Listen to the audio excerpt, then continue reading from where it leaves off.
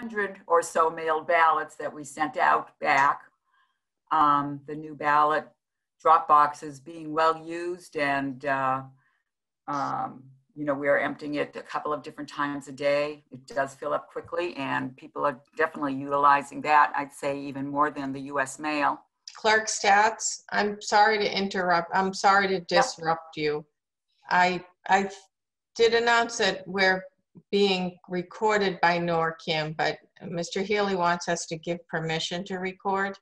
So uh, as, as far as the members are, uh, are the members all set with, uh, are all the members accepting? uh, Can we let him record, which we normally do? Mr. O'Leary, are you okay with that? Absolutely. Mr. Stuto? Yes. Mr. Wallner? Yes. Mrs. Gonzalez? Yes. Phil, it's okay to record us. We thought you were doing that anyway. Mrs., uh, Madam Clerk, can you rewind and start from the beginning so Phil can capture all of that as well? All right, as, as I Sorry. said, uh, you know, we're, we're uh, well into the election period right now. We've mailed out over 4,600 ballots and are, they are coming back fast and furiously. Um, So we are in, of course, week one of early voting. And we started on Saturday. We had four hours on Saturday and Sunday as well. And we were open for early voting from 8:30 to 3:30 today. And in total, we've had 575 early voters at this point. So um, we're right now trying to um, formulate a plan for election day voting at the church to uh, make sure that we follow proper procedures and safety protocols under COVID conditions to make sure that the safety of all the voters and the workers is uh, recognized. So I'm working closely with the police department on that and um, we will have a plan in place. We actually do have uh, procedures in place and we will get those out to the public shortly. All right, any questions? No. Mr. O'Leary? Um,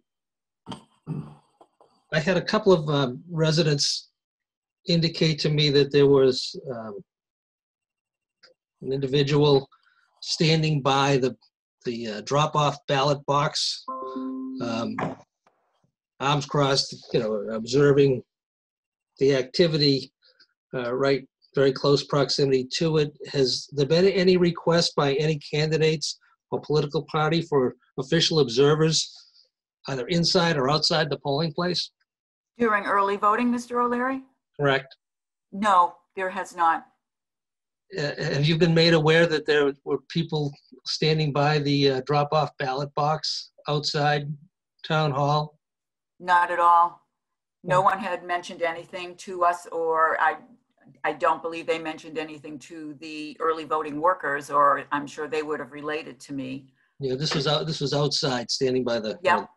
the drop-off box. So, uh, again, I didn't know, uh, again, a couple of residents indicated their discomfort uh, with it, and I didn't know if, uh, how. Were they, were they dropping off their ballots at Yes, that they were time? Is dropping that off what they were ballot. doing? Yep, yep, dropping off their ballot, you know, outside town hall.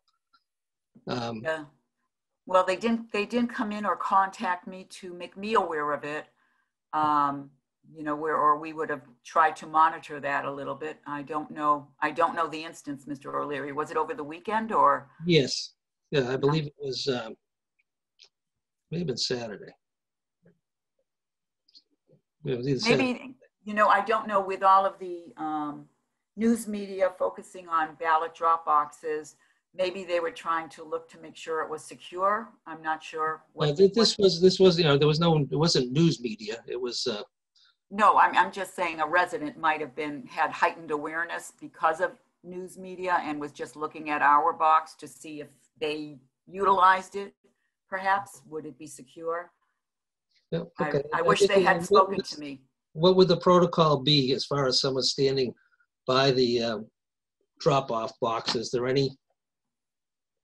We have- we- nothing that I'm aware of that would prevent people. It would be just like them standing in front of town hall. unless they were with a campaign and they were trying to intimidate voters, we would need to know that. Right. did, the registrars have a policy in place for early voting that prevents electioneering within 25 feet of any entrance, where, as I'm sure you're aware, at the polls, it's 150 feet. Um, We can't go that far, but we did make a regulation for 25 feet, but that would be for electioneering. I'm not sure what these, this person was doing. No, they weren't either, other than standing there with their arms crossed, somewhat intimidating um, individual. But that's all. I, I just wanted to make you aware if you weren't aware. And No, I wasn't. I wish, of it, and you may want to ask the police officers or the police department if they were made aware. if, of if you could reach out to the person that made you aware and have them contact me, I would appreciate it. Yeah. Okay, I'll see if they're willing to do that. Thank you. That's great. Mrs. Gonzalez? Is there a camera out there?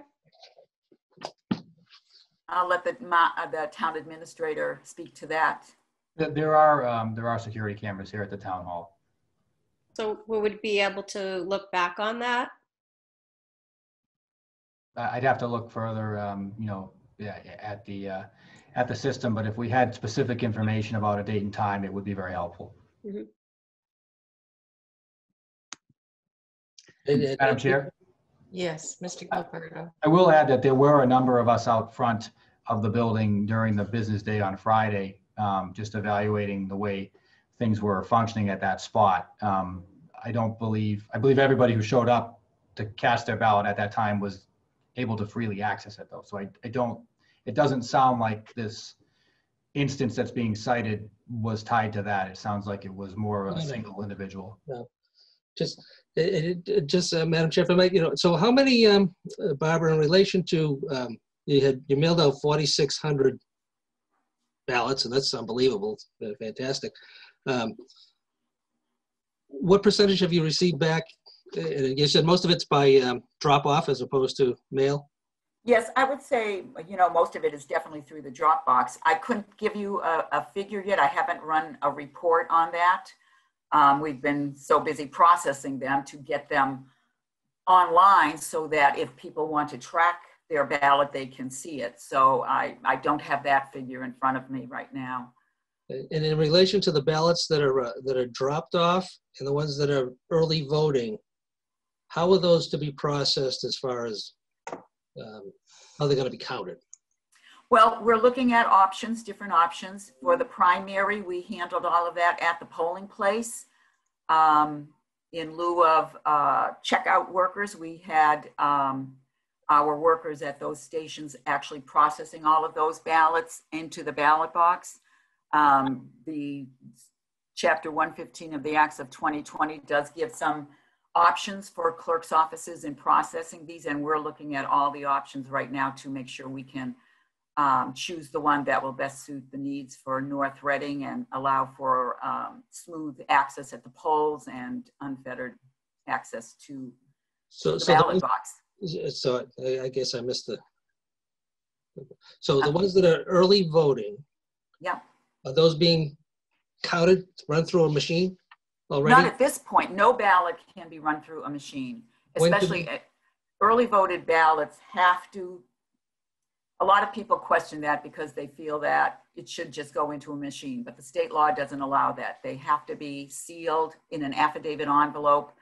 And then we just process them through the state computer system to acknowledge we've received it. That goes on the tracking uh, platform of the Secretary of State's office. Um, and then they're all stored in the vault temporarily, of course, until either we um, initiate uh, uh, an advanced processing uh, process as allowed under the law or same day um, election processing.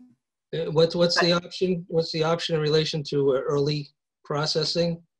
Well, that can start uh, next week, and it is, it has to be, of course, a lot of uh, paperwork documenting the, the process. Um, The ballots would be um, advanced removed from their affidavit envelope by a team, and then at, they may or may not be advanced processed through a tabulator at that time.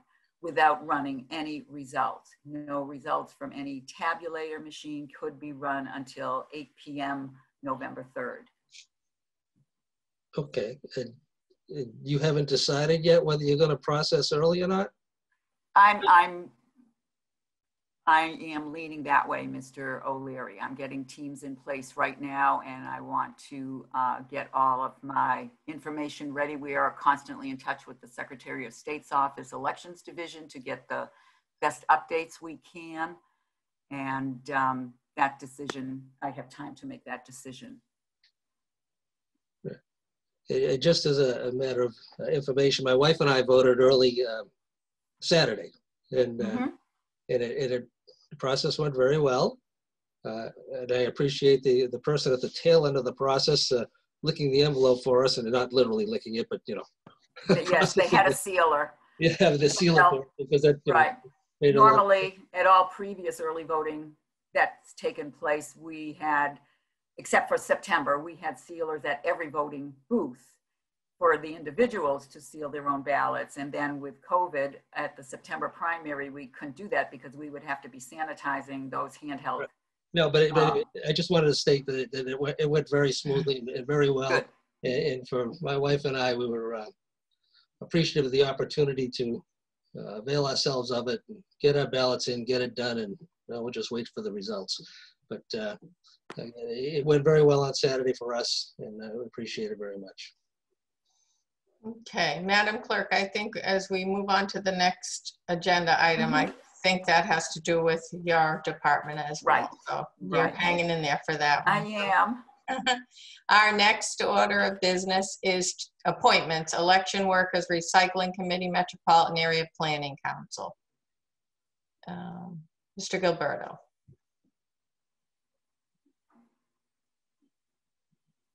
Madam Chair, uh, through you, the town clerk had submitted a listing of election workers for uh, appointment to um, work at the upcoming election or ongoing election. Um, She then submitted a revised listing today. There were, I believe, three individuals, Barbara, that opted not to be considered Yes, um, that's correct. appointment. Um, So uh, if folks haven't seen it, there is an updated listing that's in there along with an updated motion. Um, Vincenzo, hopefully you have access to that in the shared folder. I have it. Okay, so Okay. do I have a motion? Yes, we do. Madam Chair, I move to appoint additional election workers for the current appointment period in accordance with Section 12 of Chapter 115 of the Acts of 2020 as requested by the town clerk in a revised memo dated October 19, 2020. Second, I have a motion by Mr. Stuto and a second by Mr. O'Leary. Any further discussion? so just in in relation to the number, Barbara, how many more are you adding on? And This is 24, Yeah. and they're, they, I, I really didn't even solicit them. They actually started volunteering, I think, as soon as, um, I think there was an information in the Red Book distributed by the Secretary of State's office and, uh, of course, media, um, just out there to say to, you know, people want to volunteer, they should uh, reach out to their uh, local elections division. And so these, all these people just came forward um, and I think the reason, you know, some of them dropped out now is because their schedules had changed at the time that they uh, requested to uh, come on board. Their work schedule may have been different than it is now. And so, um, you know, they, they just are not able to do it now. And these, these people will be um, mostly used as, I'm going to call them monitors in directing voters to their correct precincts um, outside of the actual polling place. Um, we're, as I said, we're working closely with the police department to make sure we have proper spacing and traffic flow within the foyer and the hall. And we're counting on these new workers to help us with that, to just um, keep that going smoothly and safely. in, in, in relation to the uh, additional workflow that you've had to date and looking forward, um, how much additional personnel have you put on and, and what do you anticipate election day to look like? Well, other than these um, 24 new, um, I'll call them volunteers, um, we had uh, other newer election workers appointed already this year, and we're utilizing, you know, ev- everyone we can. And uh, as far as, you know, I'm not anticipating actually the uh, election day activity. It's certainly not going to be what it has been in past presidential years because of the um, openness of voting by mail this year.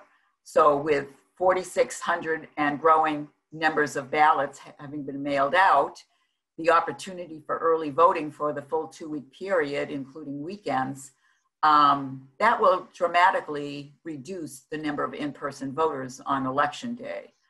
Uh, there are always a number of people who um, apply for a mailed ballot, and sometimes that's as a backup so that in case they weren't feeling well on election day or during the early voting period, or in case there was a greater outbreak of the COVID that limited their ability to engage socially outdoors, um, they would have their mailed ballot.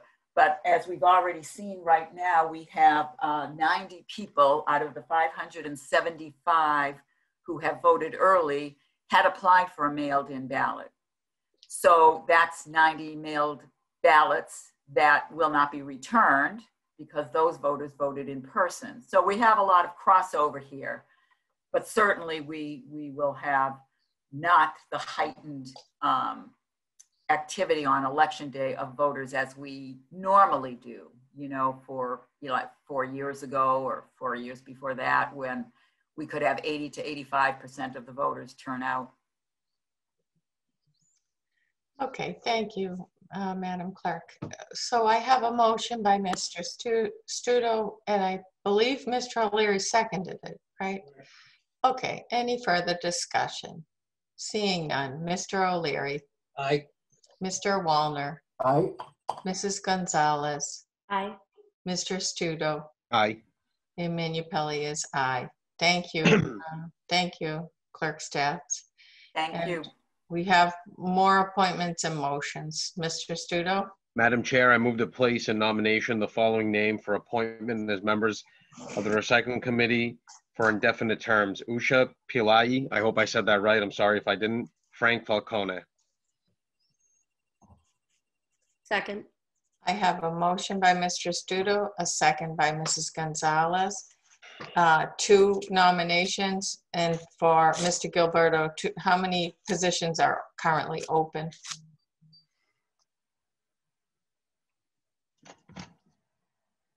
You're muted.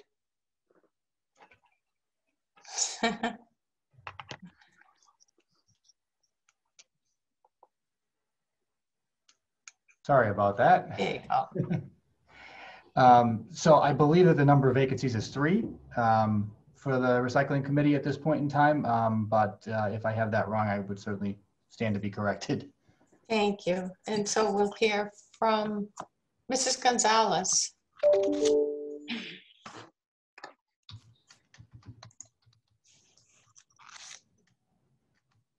are you our liaison, Mrs. Gonzalez? And did you, okay. Can we hear you? Yes. I can see you, but I wasn't sure if you froze.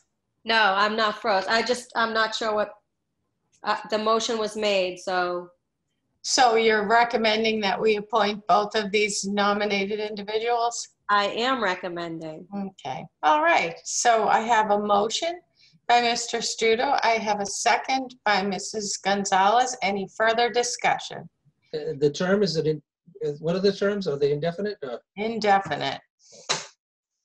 Okay. All Madam right. Chair, Yes, I Mr. do stand Gilbert. to be corrected. The number of vacancies is two, according to the board and commission information system on the town clerk website. Oh, it's full.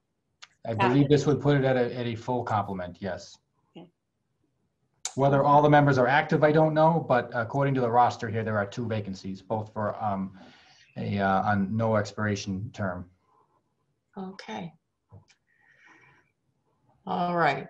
So, Mr. Stuto, then can you, can you state the names again for us? It'll be a roll call vote. Um, Usha Pillai, and Frank Falcone. All right, so we have a motion, second, and no further discussion. Mr. O'Leary, Aye, for both. Mr. Wallner, Aye for both. Mrs. Gonzalez, Aye for both. Mr. Stuto, Aye for both. and Manupelli is aye for both. Okay.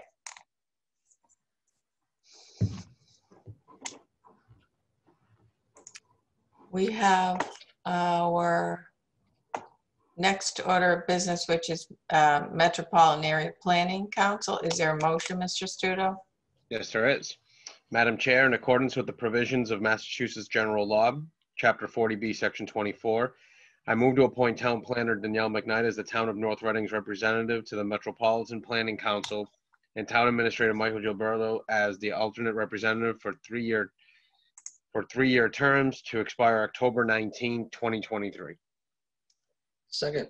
I have a motion by Mr. Stuto and a second by Mr. O'Leary. Any further discussion? Seems like the logical choice, right? Um, So no, seeing no further discussion, Mr. O'Leary. Aye, to both. Okay, Mr. Wallner, Aye to both. Mrs. Gonzalez, Aye to both. Mr. Stuto, Aye to both. and Manupelli is aye to both. All right. Our next order of business is to sign the state presidential election warrant. Mr. Gilleberto. Madam Chair, thank you. Um, Through you to the board members, this is a, a, a vote that is required in order for the uh, November 3rd state election to formally be called here in North Reading. As has been the case for previous uh, warrants, um, we'll be asking to coordinate a, uh, a date, hopefully this week, for the board members to all come in on the same day to sign the document in hard copy as is required, so that the constable can then post it. And I believe the town clerk remained on the call for purposes of coordinating that date. Yes, she is. All right. So I have, um, do I have a motion? Did we hear a motion? I'm sorry. I'm Uh, yet. yeah. Well, not, yes. Let's hear a motion. Madam Chair, I move to sign the November 3rd, 2020 state presidential election warrant. Second. I have a motion by Mr. Stuto, a second by Mr. O'Leary. Any further discussion? Seeing none, Mr. O'Leary, Aye, Mr. Wallner, Aye. Mrs. Gonzalez, Aye. Mr. Stuto, Aye. Manupelli is aye. So is there, do- is there a particular day we might be able to all go, um, to, to go sign? Tomorrow is best for me, tomorrow morning for me, but I don't know about everybody else. I can get in tomorrow. I can get in tomorrow morning. I can do it early.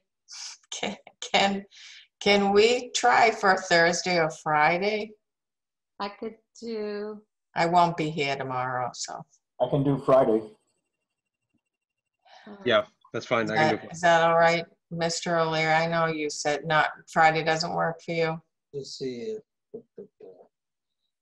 All right. Yeah, okay, morning, I'll be there morning. Friday morning, um, that's fine, right, Mr. Gilleberto? That works with the timeline, right? I would ask the town clerk just to confirm that there's sufficient time for the warrant to be posted. Yes, there, there would be. I'll have to notify the constable and um, maybe he can even pick it up Friday after everyone signs it. Okay, so Friday morning, thank you for your accommodation. Um, all right, so Friday we'll all sign and please, please send us a reminder. Okay. All right, thank you, Madam Clerk. Our next order of business is a COVID-19 update. Mr. Gilleberto.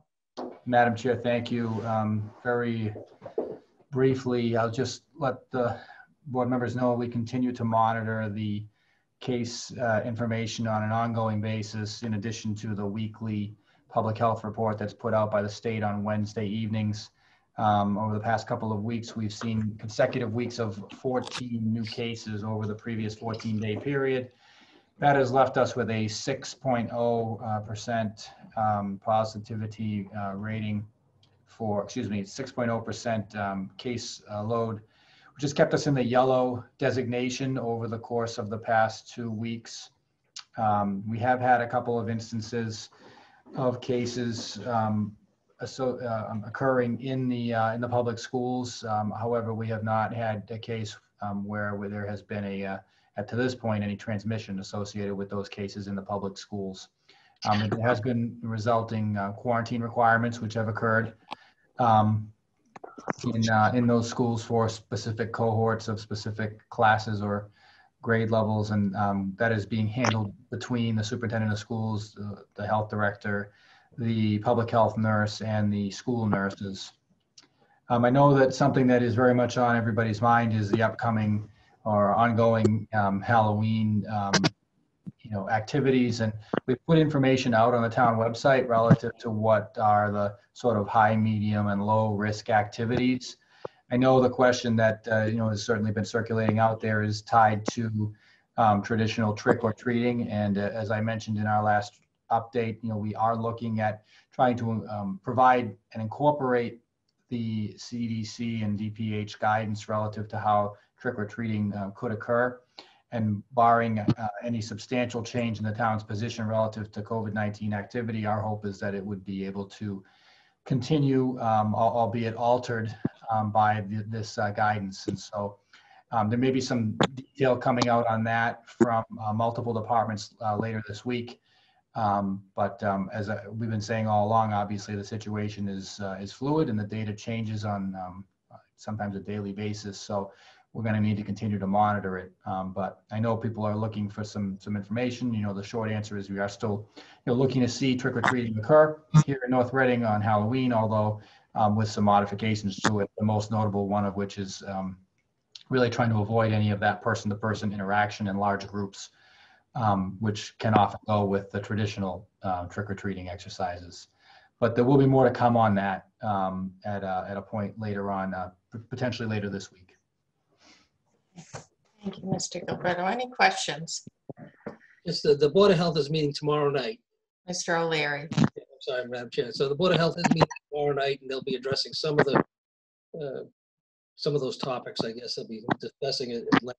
In addition to uh, the increase in uh, cases here, there's obviously concern in relation to, you know, the number of uh, individuals that could be in certain types of business establishments. I think the Board of Health will be discussing that also, whether there be some remedial I'm action. sorry, Mr. O'Leary, I don't, I apologize for interrupting you. Mr. Gilleberto, can you uh, mute everybody because someone's connection is just, I, it's actually disrupting Mr. O'Leary's discussion here. And we can unmute you again. Uh, I would say is the Board of Health will be meeting tomorrow night. We're going to be discussing uh, a number of these issues, you know, at length. And I know the uh, town administrator has been in uh, lengthy discussions with the uh, health uh, agent, the public health nurse. And again, I want to acknowledge uh, the public health nurse's code red alert that went out last week. That was very helpful and informative. Um, But again, people need to be aware that, um, you know, we're still in the midst of this thing and that um, if we don't do our part, you know, the Board of Health may be forced to take some additional actions in relation to curtailing activities within our business establishments, uh, even more than they're uh, being curtailed now. So just be cognizant of it. Um, you know, while we're all very anxious to, to get through this, uh, we've got a long way to go still, and we need to just, just do our part.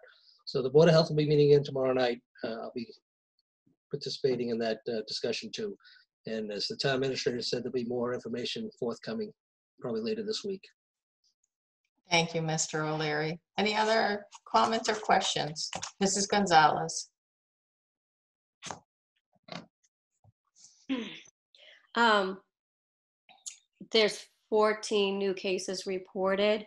Um, a- about a month ago, Mr. Gilleberto, you said that they were um, putting probable cases in with the count. So are any of those probables in that 14 or are those all confirmed? Um, I, I, the short answer is I don't know offhand, Mrs. Gonzalez, and I- I'm not sure whether from a medical standpoint, we're being given the information to distinguish between the two. Um, so I, I'd have to, I'd have to check with the public health nurse, but I I don't, the short answer is I don't know offhand. Okay.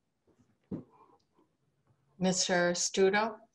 Hi, uh, just a question, and actually to Mr. Gilbert and Mr. O'Leary, because you're the liaison, you may know, but um, when the, when the Board of Health makes a decision, any decision, do they base it on confirmed or probable?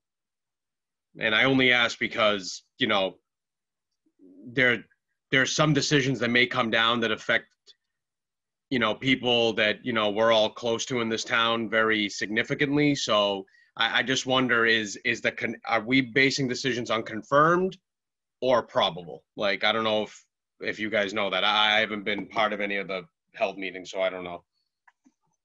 Um, I mean, I can tell you that what, what, what I think is happening is that these confirmed cases are, are being presented to, us. these, these probable cases are being presented to us as if they are confirmed. So I- again, I'm not sure that we have the ability to distinguish between the two. Um, But what, what I can tell you is that, you know, from a, you know, a, a discussion and an operational standpoint, the discussions amongst the core, you know, COVID response team including the, the two chiefs, the health director, superintendent of schools, and the public health nurse, has been to, to understand where the transmission is occurring. Um, and we certainly will make that information available to the Board of Health for, um, for its discussions. And, um, you know, how they choose to, you know, act with that, I think is something that is, you know, yet to be seen. Um, they've had some initial discussion about potential restrictions, but it was really preliminary. Um, you know, there, there may be more discussion, you know, tomorrow evening. I'm not sure whether much will have changed in the, in the eyes of the, the Board of Health members. I guess I would also add that, you know, when I, when the, the public health nurse has commented upon, you know, where are we kind of seeing the general transmission is occurring in, in North Reading, the, the response has been, um, you know, individuals uh, who are, um, you know, being exposed and becoming um, a positive case by virtue of their work. Uh, and then also um, the um, family, you know, household transmission as well. Those seem to be two, you know, primary drivers that we've been hearing hearing about. Um, but I don't want to prejudge the discussion of the Board of Health before they've had it, so uh, it's hard for me to predict. Um, but we will try to get uh, at our regular meeting tomorrow morning a better understanding. I will try to get a better understanding of, you know, do we even know that the presumed cases are in fact presumed when they're, or are they just being dumped, you know, not presented to us as confirmed? We'll try to get that answer. Thank you. Mr. Thank you. Gilleberto, uh, is the Board of Health um, data coming from DPH? Yes, um, so our caseload comes um, from the Mass Department of Public Health's uh, Maven system, which is a database that public health nurses are able to access um, the data from. That's the sort of first point of information, and then there's this lag in information that comes through the state's reporting numbers. So um, there's yet to be a moment in time when those numbers have been the same um, throughout the eight months we've been going through this. And it's been at times a, a source of frustration, but we have been told that it is due to a lag in data from some of the testing sites. You know, it gets right into Maven, but it doesn't get to the state reporting um, information um, right away. Um, there are uh, isolated um, instances where we get alerted to a case that's not come in through Maven. So somebody calls the health department or calls the public health nurse, but they're not necessarily in Maven. But I can't think, I- I'm not aware of instances where the person who is a resident of North Reading has not ended, up, you know, up in that state reporting system within a day or so of that happening. Are you aware of, um, because the DPH, the online dashboard is reporting confirmed cases and probable deaths resulting from confirmed cases, and then independently probable cases. Are you aware of the reported numbers being significantly different when you, from the numbers that, that the- our Board of Health has? In other words, is there some sort of a significant gap that would, that you could assume is because of uh, probable cases versus what, what they have for confirmed cases on the dashboard? Uh, There was a point where I, I thought that that was the explanation, but um, from what I've been told, it- that the explanation of the lag, which has been at times 20 to 24 cases, depending upon the week, um, that, that it's actually associated with the reporting and, and not classification.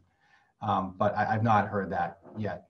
Um, That could be a great answer if it is the explanation. I just have not heard it yet. Okay.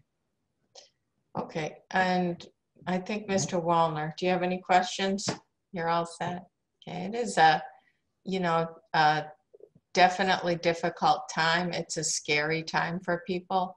I just want to thank the school department, the superintendent, and all of the administration because they're, they were right on top of alerting the parents about what's going on and trying to keep us informed and advised because we have our kids there, we have our beloved teachers there, and uh, all of the people in the school system. So we do want to take whatever containment measures there are to, to keep everybody safe. So we thank, thankfully they are, they are people of plans and planning. So they were able to alert us right away. And we wish that anybody who is a confirmed case has a rapid recovery from the, um, the virus.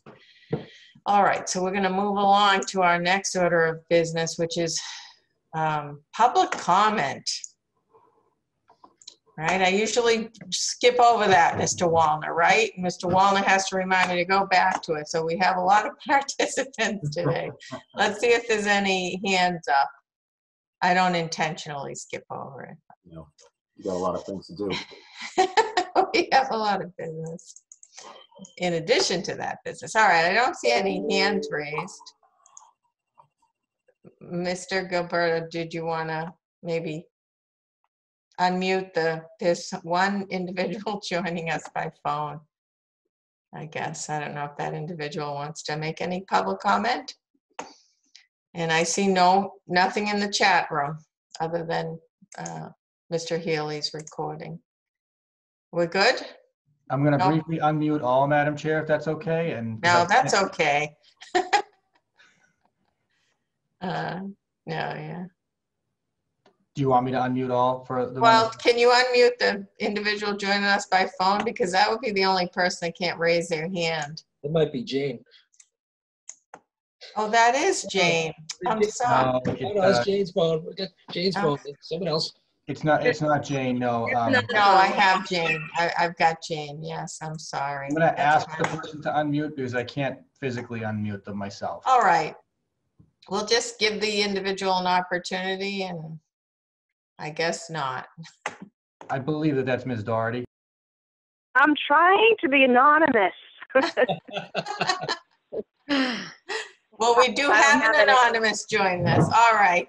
I'm sorry, Miss Doherty. We just wanted to, we just wanted to make sure that whoever Thank- was thank you. joining us appreciated it. All right, so we're gonna move on to the next order of business, which is board member reports. Mr. O'Leary, take it away. Just, uh, again, uh, my two busiest assignments right now are the uh, water and wastewater, which you're going to be getting an update, the community and the board will be getting an update shortly as a, as an agenda item.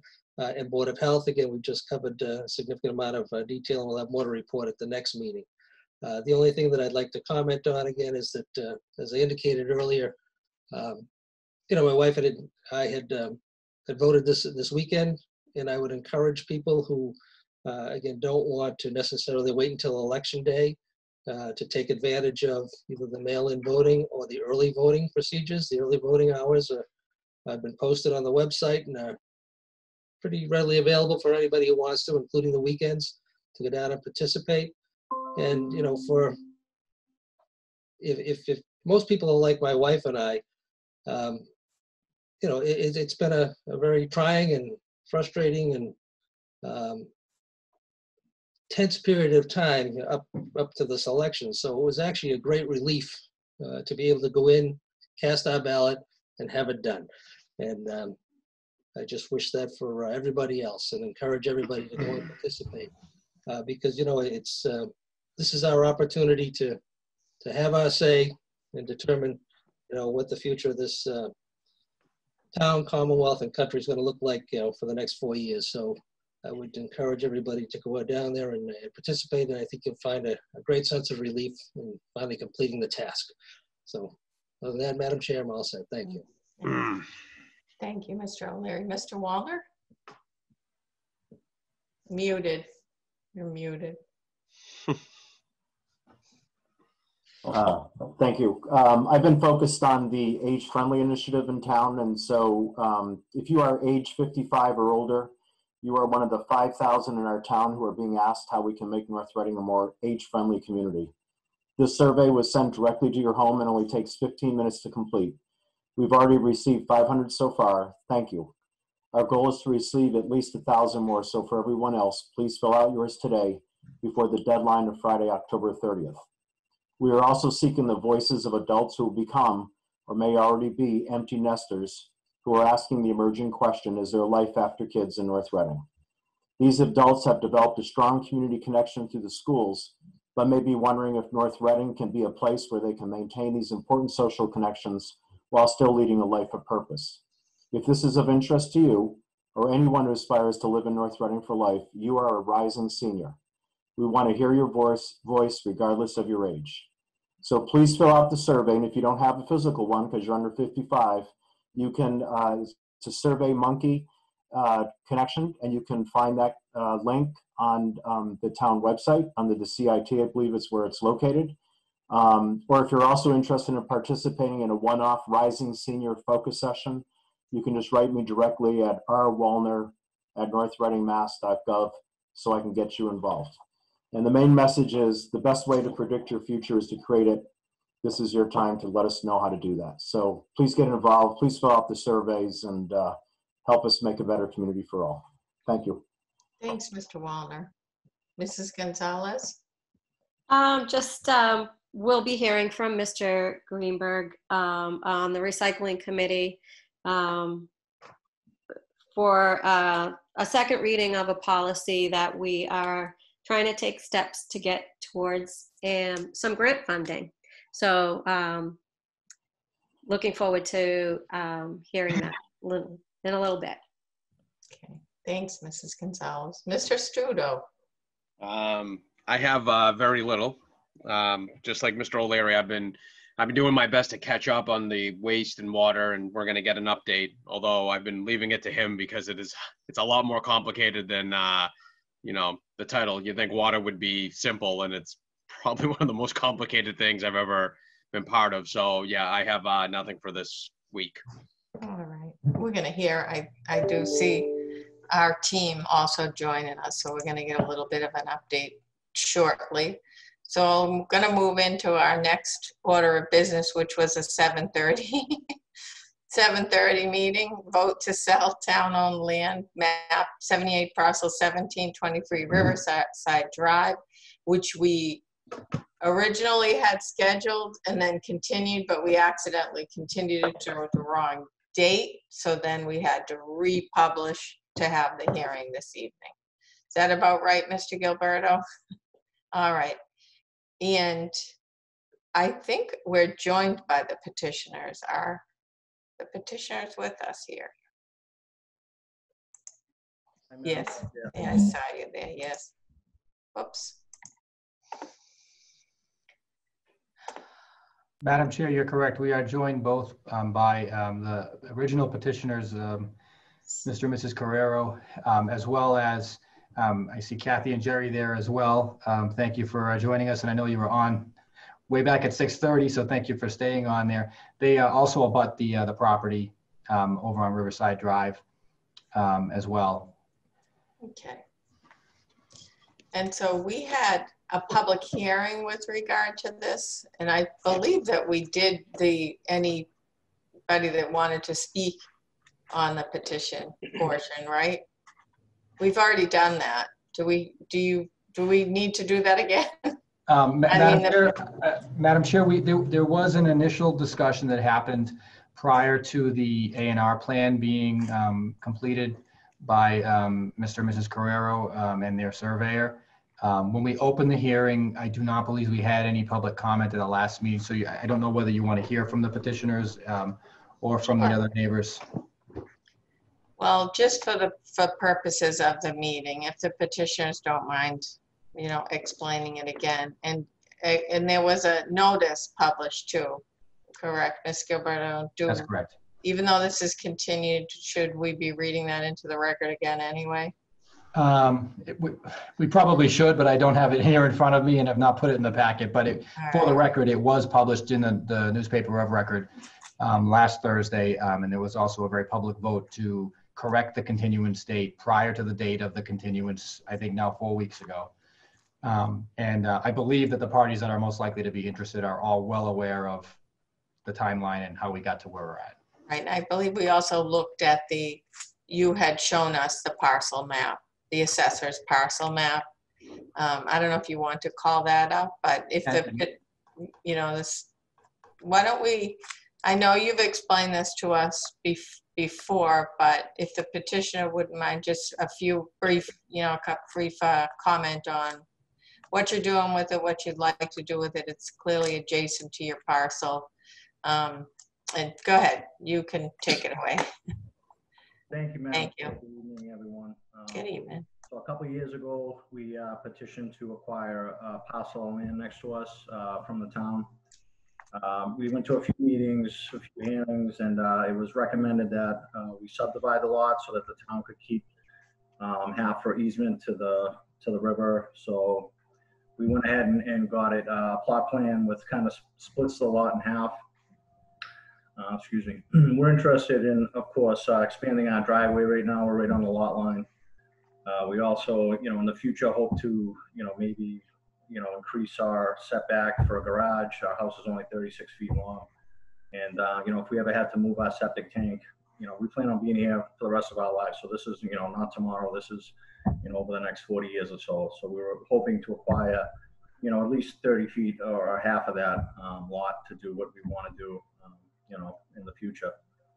So, um, you know, it's been a couple of year process and here we are. And uh, we'll see. Thank you. And, and they, the um, petitioners have done everything that we've asked them to do to get it to this point. Uh, Mr., any questions? Mr. O'Leary? No, I'm in, I'm in support of this. Again, uh, the the applicants uh, made a clear case as to uh, their need, you know, quite a while ago. Uh, The indication from the board at the time was, you know, favorable. We asked them to go to the planning commission, get, uh, get it subdivided. Uh, They've done all that we requested them to do, and uh, I think we should uh, grant them the relief and offer it for sale to them. Thanks, Mr. O'Leary. Mr. Wallner? Uh, Any think- questions, comments? All right, Mrs. Gonzalez, questions or comments? No, I'm- Mr. S- Mr. Stuto? Uh, no, everything looks good. Are there, is there anyone um, attending or joining the meeting that would like to speak in favor or against, I guess, this petition? If you would use the raise hand function. Oh, Mr. Gilleberto? Ma- Madam Chair, uh, so I I would, just for the board's edification, you know, we were aware of some questions from the abutting property owners, um, Susan and Jerry, uh, Susan and Carrie, uh, excuse me, Kathy and Jerry, who are both on the call this evening. And I have to apologize, Kathy, I, I just, I, I never caught your last name, so I, I keep not saying it because I don't know it. Um, But we went out to the site on Friday, and then we went out again on uh, Monday, uh, this morning as well, and met with the Carreros and with uh, Kathy and, and Jerry to look at, at what we were looking to do and to try to sort of mark out on the ground, not to survey grade, but to, you know, a general understanding of what we were looking to do. And I, I think that we identified, um, you know, ac- fairly accurately where the midpoint of the town lot would be and what spot would be left to be town owned. Um, and, um, we, there was a question, I think, previously about the location of the Carreros driveway. Um, today's visit was able to confirm it does not trespass on town-owned land at this point in time. I know that was a concern that we had. Um, and so I, I think the outcome was, from the conversation, and, and certainly Kathy and Jerry can speak to it themselves, but I think the outcome was that the board was being asked to sell lot 17B. Um, and I'll share my screen. It's the lot that would, um, that abuts the, uh, the Carreros. Does everyone see a plan on there? Yep. Um, And I believe that the consensus amongst all the neighbors um, who were involved in the discussion was to, that the town would retain lot 17A.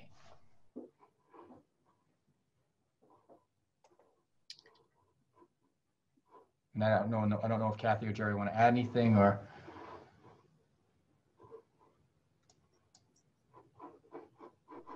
Well, to answer your question, my last name is Austin as well. okay, thank you.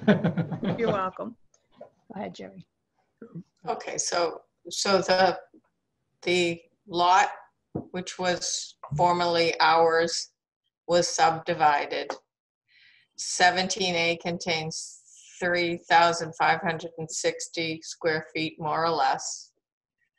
17B contains 3,740 square feet, more or less, which is adjacent to the Carreros parcel, which is the portion of our land that the Carreros would like to acquire. So the portion that we would, the town would be retaining, we own it. It, it's not a question, it would be that 17A portion, which we, we're retaining to maintain access to the river. And when we did look at this some time ago, there are other access points that we do have also adjacent to other lots. Um, But this was sufficient according to what we heard previously for us to be able to access the lot, though I think what we heard previously was the topography didn't really, wasn't gonna be the easiest means of access this, this particular area. So does that answer your questions, Mrs. Austin, Mr. and Mrs. Austin? Eh, Or do you have any other questions? I would just like to add to these, um, I believe there's a lot of, of um, inaccuracies in terms of who owns what. And we have not been provided enough information from the, from the committee here to permit us uh, to um, examine this ourselves and make sure that it is in fact consistent with all uh, people involved in this. So other than that, uh, be no comments from uh, our group uh, for the time being. And uh, you'll be notified later of our continued thought and greater depth. Any questions? So this is a, a, a plan that's been prepared. I, we can't really see this, Mr. Gilber- Gilleberto, but this is a, a plan that's been prepared by a certified engineer, right? That's the seal at the bottom? Correct. Okay. And Uh, so, we're- And it's also been reviewed by the planning commission and signed off by them, correct? Also correct. It's actually been recorded at the registry of deeds as well. The same thing was true with the site plan or the uh, newer plan, which has been, uh, I guess, a couple of weeks ago. For 19, not for For- this. That's correct. I, I, Madam Chair, through you, I, I know that there was some question about some markings in the ground in the street that we were trying to um, determine whether any of them were surveyors, and it turned out that it didn't appear that, that they were. Um, So we've explained to the property owners in the vicinity that, um, you know, we're not, we weren't making any representations about where the survey grade line would be, nor were we able to make any representations about what use the land might have because there are a number of environmental considerations going on with these parcels because of the riverfront buffer. But uh, I, I do think that we, you know, everyone is aware that, you know, that, that, that those are issues that would need to be dealt with separately through the appropriate permitting, um, you know, for, uh, for any development that might look to take place on the parcels. Well, that's all I've got for now. I'm sure there will be some more later on. okay. So just for the record then, uh, Mr. and Mrs. Austin, you are not, are you not in favor of the town voting to permit the Carreras to acquire a portion of the town's parcel? Uh, Are you saying you don't want, you- you're against the town splitting the parcel for sale? This is why we have to have time to review your inputs and look at this again and understand it. And we have not had that in a total investment today of about two hours. And it's just not enough. Okay. Um, Miss- Mr. Gilleberto, uh, was there a public hearing on the uh, planning commission's um, part in relation to the splitting up of it and notification to abutters? G- Going from memory, this was an A and R plan. Um, I, I don't believe that a hearing is required, but I do believe they submit a courtesy notice to abutters when they are doing that. Um, and I believe that occurred, um, sometime in April of this year. So it would have been virtually, but yes. Thank you. Mr. Gilleberto, when did you walk the area? Um, so we walked the property on, um, Friday morning and, um, it indicated that we were gonna take some rough understanding of some of the landmarks through our GIS coordinator, try to get a better understanding of where we thought the lot lines were on the ground with the understanding that we were not bringing a surveyor in to do that because that's not something that the town was looking to get into representing one way or the other. And then we returned to the property this morning, um, just to uh, try to lay out where we believed um, the, the lines were. And the GIS coordinator felt that you had an understanding of between three to five foot tolerance of where, where the lot lines are and where the, the midpoint, so to speak, that 30 foot frontage midpoint um, was as well. And we, we wanted really just to show everybody what was being considered to the best that we could. We don't normally do that for um, any of these town and land type hearings. I mean, we may go out there and look at what's going on, but where this was a bit of a unique one and we were trying to um, accommodate the needs of the entire, uh, of all the interested parties, um, we did that this morning just to confirm. I think it though was a little on the safe side. I've lived in uh, Riverside Drive for over 20 years in this town, and I have many times over and over watched this process. is extremely difficult one because there's not a lot of really hard materials or that, that could lead you. And in fact, it's been basically improperly, um, I would, the way in which it's been done now for, as I say, uh, 20, 20 years. So we have uh, a lot of experiments. I myself am an engineer. I'm not a soil engineer or anything like that. Um, But just be aware, there are some serious difficulties to deal with in trying to manipulate this. And that's kind of where uh, this left us. I didn't, we didn't think that there was anything that needed to be done at this point. Certainly, we would, if we thought there was unwork done, we would have fixed it up and made it fixed. So I think that's uh, all I'd better say. Okay, thank you. One of the things we, we're gonna have to do is seek uh, guidance and so on from other persons involved to, uh, to haul them out of the closet, I guess, because they thought they were put away for a while. Okay, anything else? Any other questions, please? If I, uh, if I may, again, we- we. just Okay, need to- um, thank you, thank you, Miss, Mr. Mr. Miss, Mr. and Mrs. Austin. Is there anyone else that would like to speak in favor or against this petition? If you could use the, um, raise hand function in the chat. Or I see none. Mr. Gilleberto, I don't see anybody. I do not see any raised hands. All right. Okay, and to the careers, did you want to add anything with regard to your petition? Uh, Yes, please, Madam Chair. Um, So we moved here about four years ago. Um, I- My my neighbors are wonderful. We, we- you know, we we talk to them a lot. Uh, They do own, you know, approximately 400 feet of of frontage, um, approximately three lots. And uh, we were afraid to have this land next to us purchased and, um, and developed like the rest of um, the street. So, you know, two years ago, this, we started this process and, you know, they've had plenty of opportunity, um, you know, for the past two years. So we just feel that we've reached that point and hopefully, um, you know, this is, this is the outcome. Know, we've sent them letters and, you know, um, Well, as I mentioned before, you are watching firsthand up close the 20 years. I don't know, are you, are you 20 years old? Anyway, um,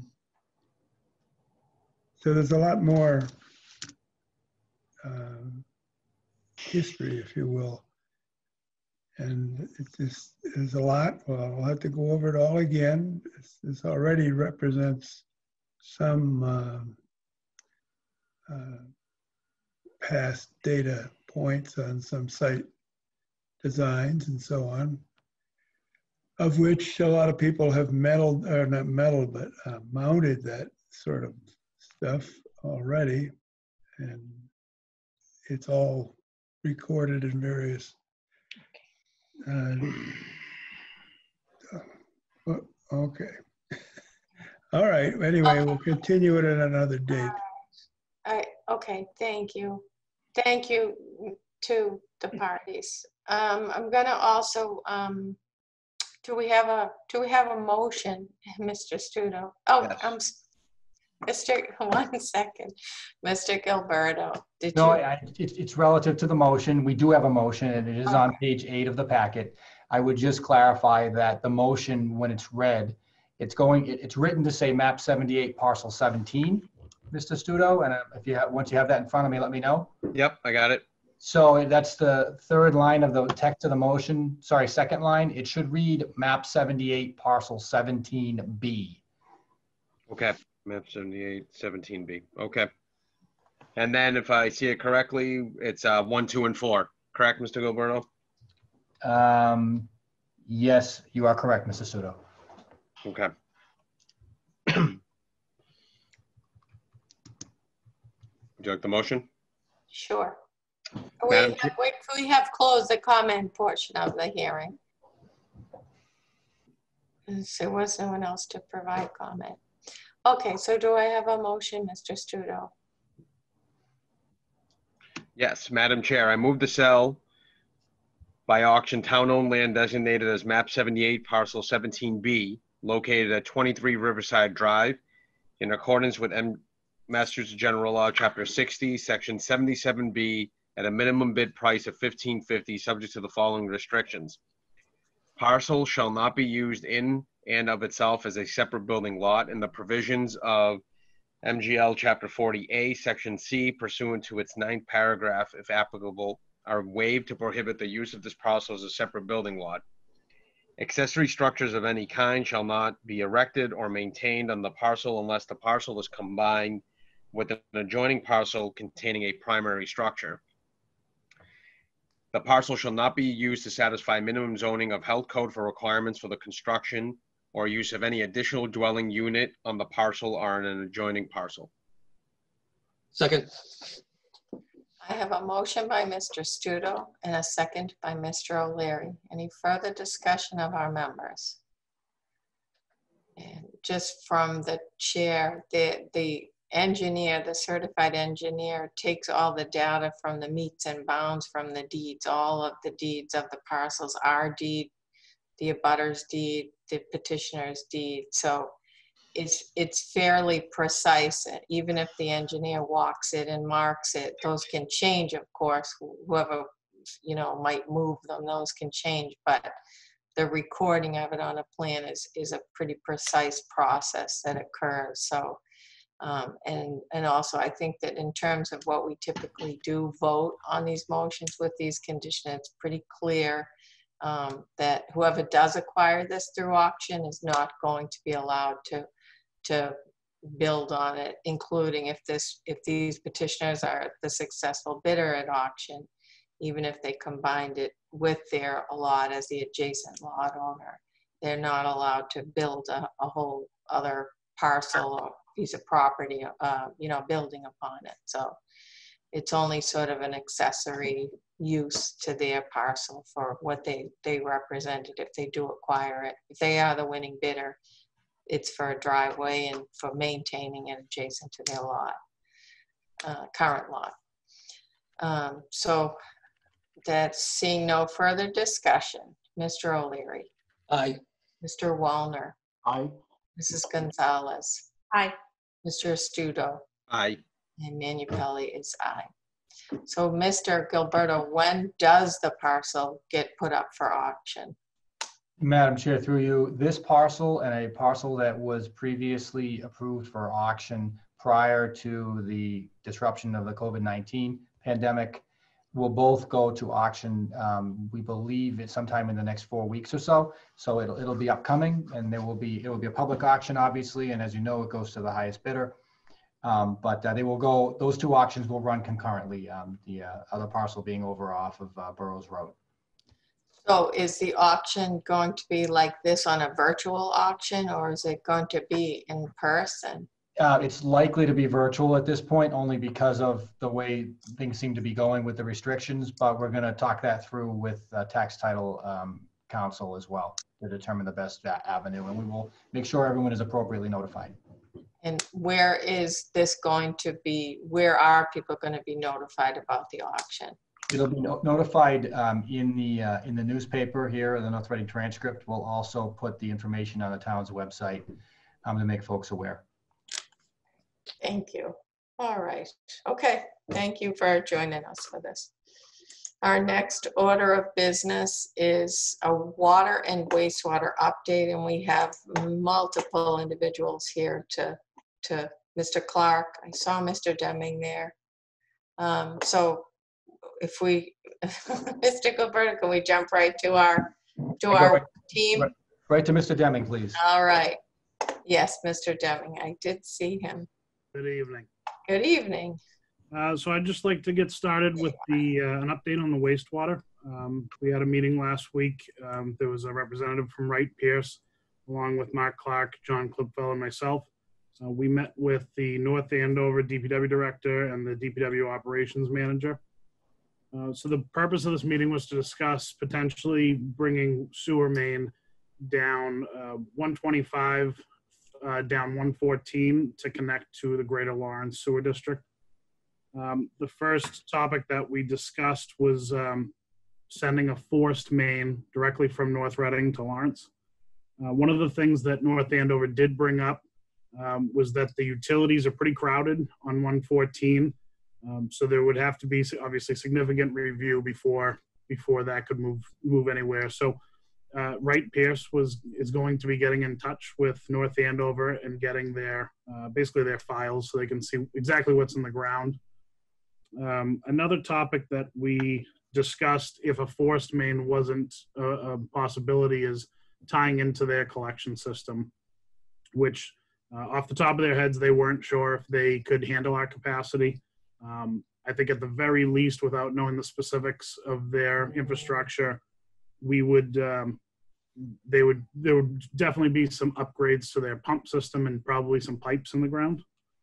So, uh, like I said, North Andover is sending the files uh, to Wright Pierce to start the review on that. Um, Wright Pierce is also in the process of reaching out to Mass DOT as 125 and 114 are both state roads. So we would obviously need their approval. Um, and there was another thing that North Andover had brought up that was interesting was um, 114, I believe in the area from Merrimack College up to the supermarket um, is in the process of getting approval to be reconstructed, uh, similar to what's going on uh, on Route 28 in Reading. Uh, they're currently at 25% design for reconstruction. Uh, their plan right now is to put that project out to bid in late 2023. Um, so I think we all pretty much agreed that uh, it would be a long shot for us to to get everything in line and uh, get everything approved and be able to start breaking ground before that. Um, so realistically, you know, if we're five to ten years out, we're going to be after the point of them reconstructing their road.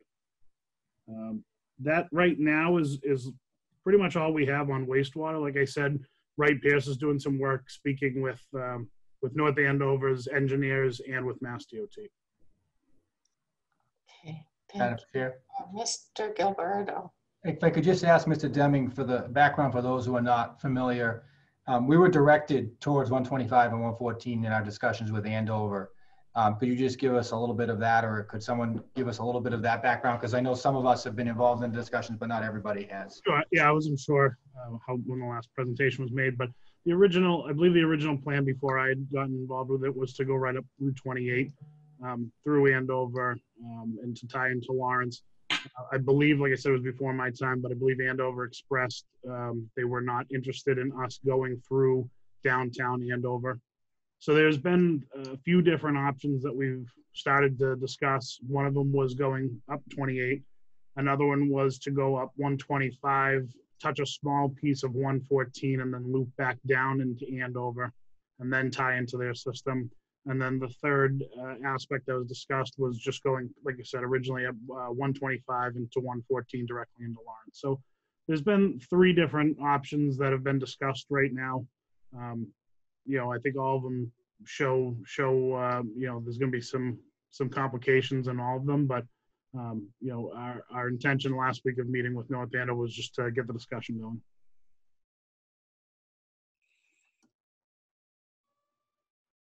Uh, I believe there's an update with regard to water as well and some, some progress. There is, yep, yeah, I'll- I can uh, touch on, it, and then if anybody has any questions, I know Mark's here. He's he's had a lot to do with it as well. I just, uh, does anyone have any questions on the wastewater update? Uh, just a little further clarification, I think I mentioned it a couple of meetings ago, is that, you know, Andover, when we first discussed this with Andover through the negotiations with the 99-year deal on the water, um, everybody's intention was to go up Route 28. But if you recall, you know, last year they had the Columbia Gas situation, and as a result of uh, the needs to uh, upgrade all of the uh, gas pipelines, you know, through the town of Andover, the Shawsheen section, uh, a significant amount of uh, digging up and redoing of Route 28 in the downtown area of Andover and the Shawsheen section has already taken place, and their appetite for um, digging up their downtown and their Shawsheen area again is diminished. And that's why they asked us to take a look at the alternative, uh, alternative routes. So originally, we're talking about going up 28. That was the original discussion with Andover. Uh, they weren't too objectionable to taking a look at it and seeing, looking at it and seeing what uh, upgrades and infrastructure they would need in their community to accommodate us at the time. But since then, because of the uh, Columbia Gas situation, where everything's been dug up and now been redone, their appetite to do it in short order in a short period of time is not uh, not there. So Hopefully, we're pushing back on that because why would we go up 114 here or 125 there when we have a straight and direct pathway that we're doing? actually, our consultants, Reroute it for know, it's a- Columbia Gas for, because they say they don't want that anymore because we already dug it up for that. but That makes zero logical sense, zero. although, although our puts consult, our project back now. Now we're here in another five or 10 years because they're doing other work on the- those, those Uh, connections and areas. So hopefully our team is pushing back on that actually, uh, our consultants, our ridiculous suggestion for us to go to 114 or 125 to get sewer up 28. No, actually, our astronomically more money than what this is potentially going to cost us. Does anyone else have any questions? Madam Chair, just in relation to that, our consultants have actually informed us that the 125, 114 route may actually be more advantageous, that more advantageous and less costly. For sewer, to run sewer up 28? Uh, Up 120, yes, yeah. So I'd like to see that. That's news to me. Do we get any memo or information on that from our, from our expert? Uh, We've had considerable discussions and when they took a look at it, it- it's uh, extremely viable. It's- It's, uh, they're kind of veering off into a completely different direction, literally, Only because we were literally directed, for this project. because we were directed that way. And when they took a look at it, they said, okay, you have no Yeah, other. we've been directed that way by, by, by our neighbor. And does our expert, you know, our expert has to kind of redirect it to a track that's helpful to us. You have to keep in mind, there's no other infrastructure in 125 right now for sewerage. So this would be all new infrastructure. No other um, upgrades to the town of Andover, whether it be the pumping stations or their upgrades to their piping and uh, capacity to treat the sewer- sewage and pump it through, um, an upgrade. And it's just a, it's a straight shot. The only, uh, That's, that, I'd love to see the memo that our expert prepared for us on that, veering it off into this direction. But I'm not the only member on the board. Does anyone else have any questions about this update, this, Mrs. Gonzalez? I, I was just in, in my mind, thinking the same thing that you just said out loud, that it seemed kind of crazy going all that way around. Um, and I can't understand how that wouldn't be more costly, but yeah, Chris. Madam Chair, uh, just to add to it too, um, if we were to go up 28 through Andover, we would, not only would we, we have to make a a sewage pump building um, regardless of what direction we go. If we go through Andover, we would tie into the Shawsheen Valley Pump Station in Andover. We would also have to pay Andover to make upgrades to that building and that infrastructure. Uh, we would also then be required to to to pay them um, probably monthly or yearly to use their facility. Where if we were to go uh, 114 and 125, I believe it's a seven mile stretch, and our engineers have said that we could do one pump station at the Andover line and make that direct pump all the way to line. Me and then. So there, so there is, there is added, if we were to go 114 to 125, we wouldn't have to get involved with Andover's pump station at all. No, and I, I think it's important for us to be having these updates at these meetings so we can see the direction that this is taking. But prior to these updates, I think it's important for us to see those kind of um, modifications or, you know, expert reviews so that we can have the benefit of reviewing them as well. So if you could upload that stuff to our, you know, folder, Mr. Gilleberto, that would be great. Um, and I, I didn't want to interrupt you, Mr. Deming, because I know you're gonna, actually, does anyone else have, any- Mr. Wallner, any questions? Um, I just, you know, it's obviously getting complicated, but I'm not surprised. It's a big project. So, um, yeah, I don't have any questions at this point. Um, I know you're do, you're gonna do water too, Mr. Deming, but Mr., just so, just on the wastewater. Mr. Stuto, any questions? Good, all right. So, Mr. Deming, can you, um, did you want to Absolutely. go, go ahead on the water? So we've, North Reading's received the interbasin transfer agreement. Uh, we're now at 100% complete with all of our permits for the water project. Um, as far as the other two projects that we have going on, the water main um, on Mount Vernon and North Street, um, both of them, we've received all the bids back. Um, Wright Pierce is right now reviewing um, the bids and they plan to recommend within the week. Uh, that project, for those of you that don't know, is is planned to start in spring of 2021, um, and that would be Mount Vernon and North Street from the Moose Tower to Lowell Road. Um, the projected cost for that project was 2.5 million. The lowest bid came in at 1.7 million, so about 800 thousand dollars under. There were 14 total bidders, uh, ranging from the 1.7 million to 2.4 was the highest. So like I said, um, our engineers are reviewing that right now to make their recommendation hopefully this week. And for the chemical buildings, uh, as you may recall, we have put out that out to bid. Um, the numbers that came back from the one contractor that bid on it were extremely high, so we decided to put that back out to bid. Um, the filed sub bid uh, due date is this Wednesday, the 21st, and the general contracts are Wednesday, the 4th of November. Um, both of those dates were scheduled for the week before. We got some feedback um, from a few of the companies that planned to bid on it that there was a large project going on in another part of the state.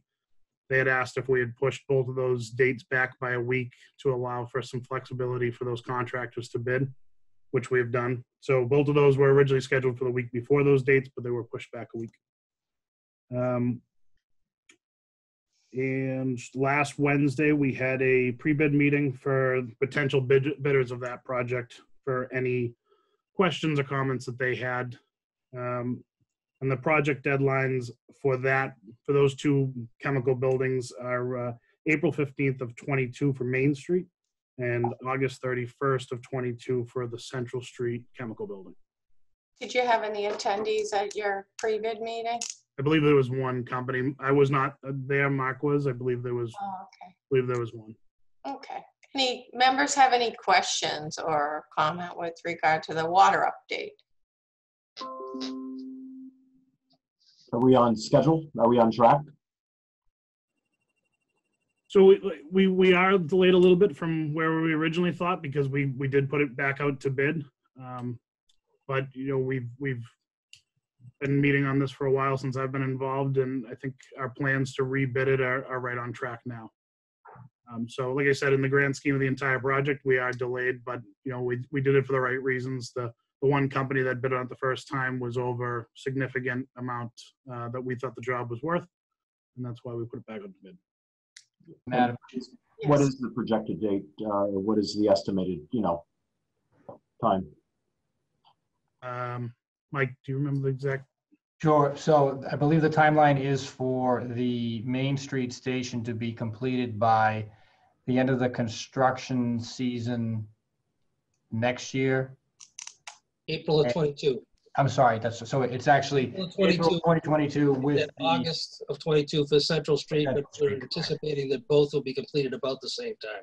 And again, we're looking at the April date because uh, that brings us just to uh, the timeline where the peak demand starts to pick up, you know, with the watering of lawns and filling your pools and all the rest. So uh, we're looking to have that completed and up and running, the chlorination plant before that, uh, that time period. So, you know, in relation to, you know, have we, has the timeline slipped? Yeah, we were looking to have most of this completed, you know, next fall.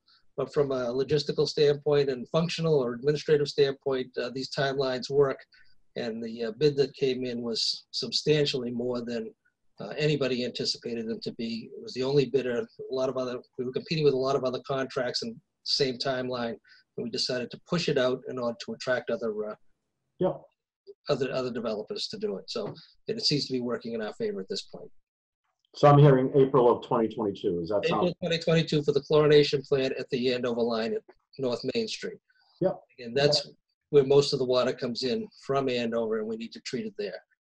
And again, that would coincide with the high demand season Yep. uh, picking up at that point. Mr. Gilleberto? thank you, Madam Chair, just uh, something to add to that, that, you know, the timeline. We, we were able to utilize a temporary interconnection and temporary water treatment during the high demand season this past summer. And the intention, and we are uh, authorized to do so for, uh, for next summer as well. So, and, you know, in terms of, you know, being at the point where we're drawing all of our water from Andover, we have been at that point since roughly, I think, January of this year, and we will continue to be in that status. What we're talking about here is the expansion of some pipes, as well as a new uh, permanent treatment facility and a replacement of a treatment facility. But in terms of the, you know, the, the, you know, being at that spot of being able to draw our water, we have been at that spot since January. And for the heavy uh, watering season uh, in May, we were also able to do so because of the temporary interconnection that, uh, that's there. Um, The second thing that I just wanted to um, note is that, um, you know, this is clearly a lot of information, but, um, you know, it's, it's a lot of, a lot of progress, particularly the permitting, to have that permit in hand now. Um, and to have that permanent permit and to know that we're on a path to get out from underneath an administrative consent order as well. Um, you know, that's a great spot for us to be in and it, and it's a testament to work by a lot of people. Um, you know, I think that we'll all be happy when all the pipes are in the ground and when the, the pump stations are all up and running, the permanent stations, but we are are certainly pleased to be going in this direction. I guess the, the final thing too, I'll, I'll just add is that, you know, we've seen some success with rebidding projects. Uh, some of you are familiar with the restroom concession facility at the um, high school turf field and, um, you know, Not relive that one. well, you know, I mean, as difficult as it was, probably one of the best decisions we made was to rebid that very late in the game. And um, I think we sort of, uh, you know, took that same strategy here, and um, you know, we're hopeful that it'll pay off in terms of the overall construction costs for the project. So, thank you, Madam Chair. Thank you. Any other questions? All right. Thank you for uh, hanging in there, giving us the update and uh, wait, waiting through the uh, couple of hearings. So or the, the public hearing. All right, so we're gonna move on. We're gonna see you soon with another update, I'm sure.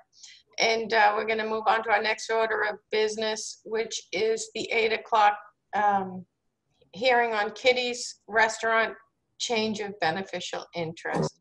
We do have um, petitioner. Yeah, I'm sorry, we do have the petitioner here. Right, Yes, I see uh, Mr. Ware and Mrs., uh, Ms. Burkmeyer as well. all right. Hi. Go ahead. So please introduce yourselves with your, state your name and address for the record. Madam I'm Chair, do John. you want do you want to read the hearing notice first? Yes, I'm sorry, Mr. Stu. Do you have a copy of the hearing notice? Just one minute, I'm sorry. I'm hoping that was in the packet. Let me see. It may not be in the packet, Madam Chair. Um, Let's see if we can find it.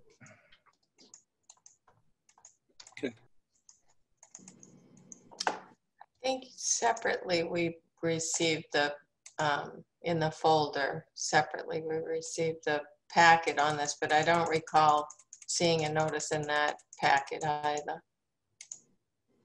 You, you separated out the files. Yeah, we, we did, and it's, it must have been when we separated it, we did not connect the uh, hearing notice. Uh, If you'd like, I can actually grab the paper copy of it and read it, if you'd Sure. like. Sure, please.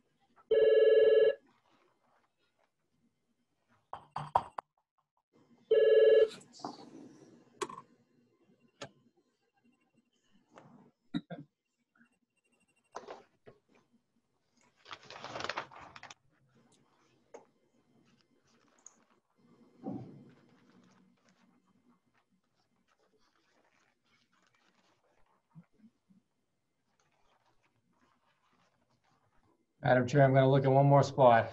Okay.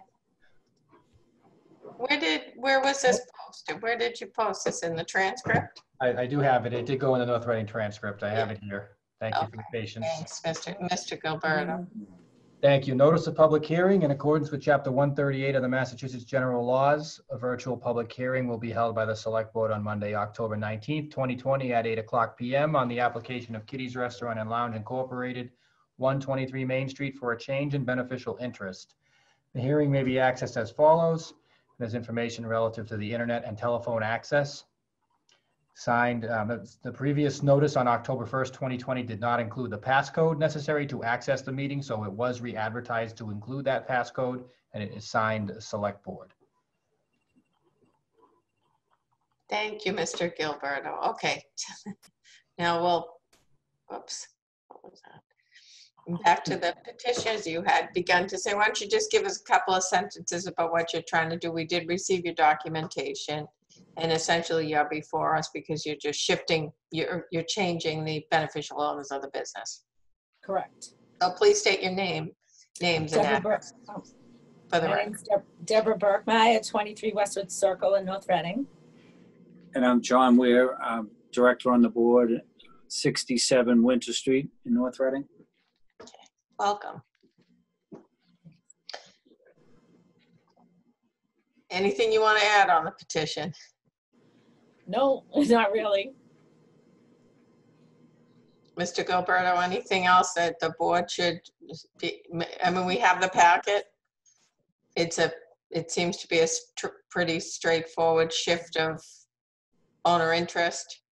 Yeah, that, that's correct. I mean, I, I, and again, the, the petitioners can correct me, but it looks like it's a, a a rearranging of the uh, ownership percentages amongst the family ownership uh, associated with the restaurant.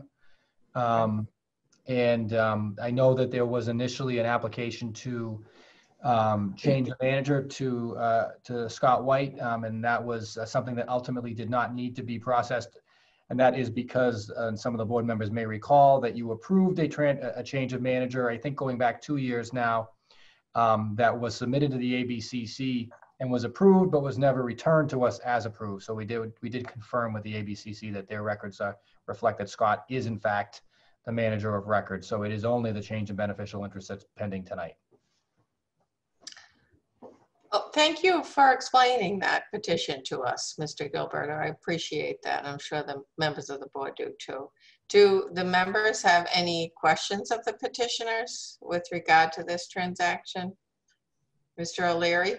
Uh, No, Madam Chair, I'm well aware, this is just a um, uh, situation of basically estate planning purposes. uh, uh, The next generation taking over and continuing the uh, uh, business and uh, being good members of the business community makes sense to me and fully supportive of their, uh, their efforts to, uh, to achieve what they need to do here. Thanks for that edification. Mr. Stuto, do you have any questions or all set? Mrs. Gonzalez? As long as that salad dressing recipe doesn't change, I'm okay. Mr. Wallner, any questions? I'm good, thank you very much. Okay. Mr. um, Gilleberto, all the paperwork, the required paperwork uh, is in order on this. Everything that, that we needed to, the petitioner pr- to provide has been provided. That is correct, yes. Okay, so um, since it's a public hearing, is there anyone that wishes to speak in favor or in opposition to this petition? I see none. Mr. Gilleberto, you don't see any hands raised, right? I don't see any visual hands and I don't see any electronic hands. Okay. Yeah, All right, seeing none, we'll close that portion of the hearing. And do I have a motion? Madam Chair, I move to approve a change of beneficial interest for the common victualler all alcohol license for Kitty's Restaurant and Lounge, 123 Main Street. Second? I have a motion by Mr. Stuto, a second by Mr. O'Leary. Any further discussion? Seeing none. Mr. O'Leary, Aye. Mr. Wallner, Aye, Mrs. Gonzalez, Aye. Mr. Stuto, Aye. and Manupelli is aye. Okay. Thank you. Mr. um, Gilleberto, I hope you kept that paper notice. I have it. Good. All right, our next order of business is Thank you. Paradise you. R2 Incorporated doing business as New England Beverage, transfer of license. And we'll just ask Mr. Gilleberto to read the, to read the notice, publication into the record. Certainly, notice of public hearing in accordance with Chapter 138 of the Massachusetts General Laws. A virtual public hearing will be held on the Select Board, held by the Select Board on Monday, October 19th, 2020 at 8:15 PM on the application of Paradise, Paradise R2 Incorporated, doing business as New England Beverage, for the transfer of the package store all alcohol license from Sunny Riva Incorporated DBA New England Beverage and Redemption, licensed to be exercised at 160 Main Street, North Reading, Massachusetts, in a two-story building occupying 9,980 square feet, selling space on first floor, offices and storage on second. Hearing may be accessed as follows via the internet and via telephone uh, using Zoom technology. And it's signed by the select board.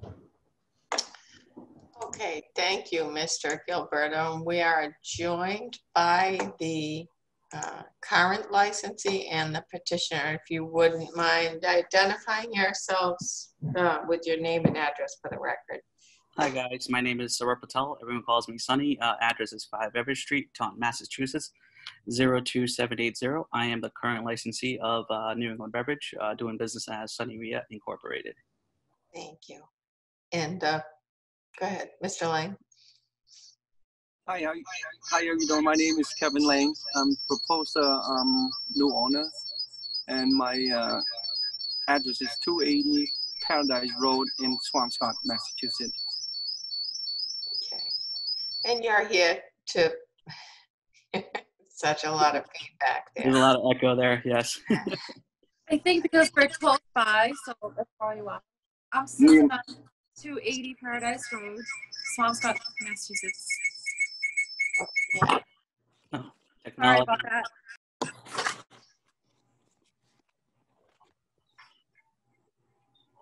Is there any way to prevent that feedback? Um, I think if- I think if Mr. Lang and Ms. Volume could just both mute and only unmute when they're s- speaking, and maybe the other could turn their volume down. It looks like they may be in the same spot. Okay.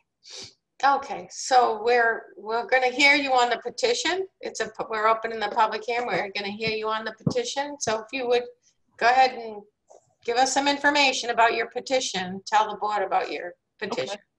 Uh, I can start if um, if you guys can hear me okay.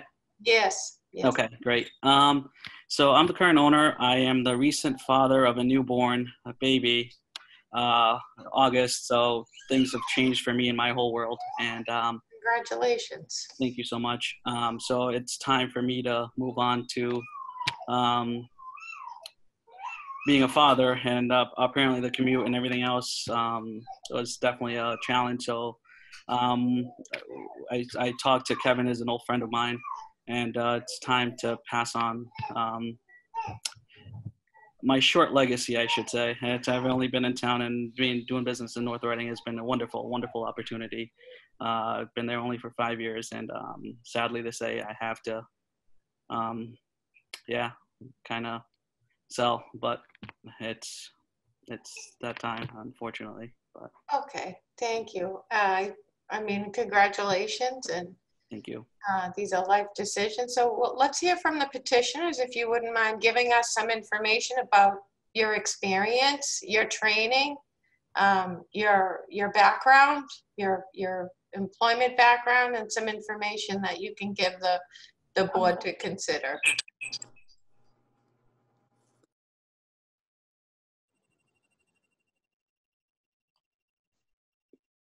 Let's see my picture. Guys, would it be easier to just uh, both of you guys get on one screen? And if you guys Yeah, that's that's what we're doing now. okay.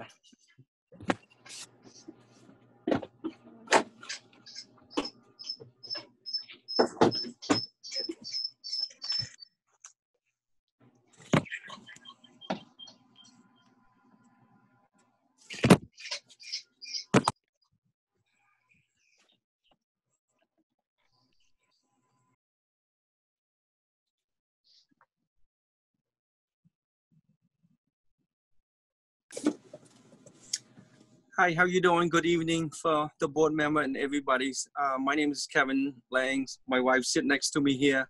We are the proposed buyer for the new location that uh, Sunny been run for five years, and the, the location is well known for me. And uh, Sunny been run for five years, and then right now he decide to change his um, way of living down further south shore. So he called me see if I can take over. So I agree for to do that, and right now be really be happy to take over if the board allowed to transfer. And I have experience on the liquor business for so long. I have a different location and with partnership with other location, uh, different town, but North Reading is the first one that I'm coming in. So the experience to run the uh, liquor business is well experienced for me. So I'm asked the board if the board can be approved for a transfer license, and I will do my best to run the location as the way it is, as the best in town. Okay, and I, I can see that you're, it looks like you already are at an establishment. Is that another business that you own? Yes, ma- yes, Where ma'am. is that located? This one is located in Swampscott. And are you the manager of that business? My wife is a manager. So how many hours do you plan to spend at this uh, proposed location? The uh, proposed location, I'm gonna spend at least 60 hour. My wife's gonna be there close to 40 or 50 hours also. And how many other establishments do you own? I have one in uh, Somerville, Massachusetts, and I have one in um, South Boston as the uh, partnership, 50% partnership. Okay, and are you the serving as the manager of those as well? Yes, but those are only part-time over there. I have a managers over there, but I'm just in charge of uh, look over the manager. Okay, and have you ever had any issues of, of disciplinary action with regard to the other establishments that you own or have interest in? The other location that established right now don't have any discipline, but the previous one that we've been um, sold, I have one about 15 years ago in um, Lynn. Okay, but nothing currently? Not nothing currently. Do you have, um, do you have any businesses that you own in other states? No, ma'am. Okay, um, I, um, asking because Mr. Gilleberto, I don't think the application was in our packet. I didn't see it. It's here. It's here. A Separate folder, a separate, separate item in the packet tonight. I saw that, but it looks like a tip certificate. No, it's the Yeah. whole application. No, it was there too, but The application should be uh, behind it, um, Madam Chair, but I have a question for you. Yes, Mr. Mr. Stuto, Mr. sorry. Stuto's got his hand up. Well, we'll get to you, Mr. Gilleberto, but Mr. Stuto, go ahead. Um, I have a question about current. Um, if I'm reading this directly, if I'm reading this accurately, so what's today, the 19th? Yesterday, there was a violation there in New England Beverage. That Oh, I- me. Well, I, I just let me finish and let me ask. So the violation here says that uh, it, you know, a pack of whatever, a, a 12 pack of Bud Light was sold to someone underage. When questioned, Mr. Ling said that, I hope I said that correctly, that the person looked 21 and they were still in training. So my question is, well, if you give me a resume of all that experience, I don't, the, the two, the two, the, the statement and what was just said here don't mix. Um, let me answer. Oh, yesterday's situation, I was there. Um, Sonny was upstairs, and then I would try to uh, help him out while he take. Um, I think he take a little break. So I did make a mistake there by miscalculate him. And the previous one, um, Sonny check on him. I see he check on him. We have he have an ID, but at this time I assuming it's the same gentleman there. So I make the under misunderstand So the person in question, I believe, has been to the establishment with an ID. Um, whether or not it's been a fake or not, that's on me. So I take full responsibility for that. Um, but in the last five years, I've never had any violation on my license, and in the past ten years, I've never had a violation on any of my other businesses as well. Um, so uh, again, I'm so, so sorry about that happened, and especially on a Sunday. But uh, over the course of last five years in North Reading, I've confiscated a lot of fake licenses, uh, whether it be from people out of state, Maine. Uh, a lot of kids from Andover used to come in and visit our establishment thinking they can get away doing certain things. But uh, I actually built a wall of fake IDs um, right behind the counter to deter people from buying underage. And it's been working for a long time. And yesterday, like I said, I, I am so sorry that happened. And uh, I will assure you, uh, it's not going to happen under my reign. And Kevin's either. Kevin is like in the last 15 years, he's only had one violation. So that can attest to his um, responsibilities too. And uh, we will, I will promise you this, this, that it, it's, it's not right, but it's not going to happen again. I can assure Can, can I, I'm just gonna follow up. So you said that maybe the person was there and could have had a fake ID in the past. That's my guess, because based on the surveillance footage, it seemed like I recognized the person. Okay. Well, the reason I ask is, I mean, this is someone who came in with the police department, volunteered. So if that's the case, they used a fake ID, but then volunteered to help the police on a sting. So I don't know. I mean, I'm just That's curious. weird. Yeah, that that that that is definitely weird. But I do, from what it seems, I did kind of like from the surveillance tapes recognize the fella. But again, sorry, but it's not gonna happen again. It's a strict, strict policy, and I'm I'm assuming that uh, the police department has run multiple stings on me in the past, and um, I've never let the ball slide, and uh, I did this time. So again, I'm, I apologize for that. Ms. Pfister, do you have any other questions for the petitioner? No, not not from the If the only thing I would say is again, um, you know, thank you for volunteering that information. But if it was the case that it was someone who may have gotten away with it in the past, and then we just assumed he was 21, I think, I think Oh, it's no. easy. Yeah, if we Well, check. I think it's it'll be easy to answer that question because we can just ask uh, Detective Mara and Detective Lucci of whether or not this person has done this before for them, and if the answer is no, then we just, I mean, we we know who the person is. That's the question, so we can directly get that answer. So that that's that's all I wanted to add. Okay. Like I said, from the surveillance footage, it seemed like the custom, the the person in question was there, and I, from, from what I understand, I did check his ID before. So, but it's we have I've been known in town to confiscate IDs uh, over the past five years. I've literally ripped up.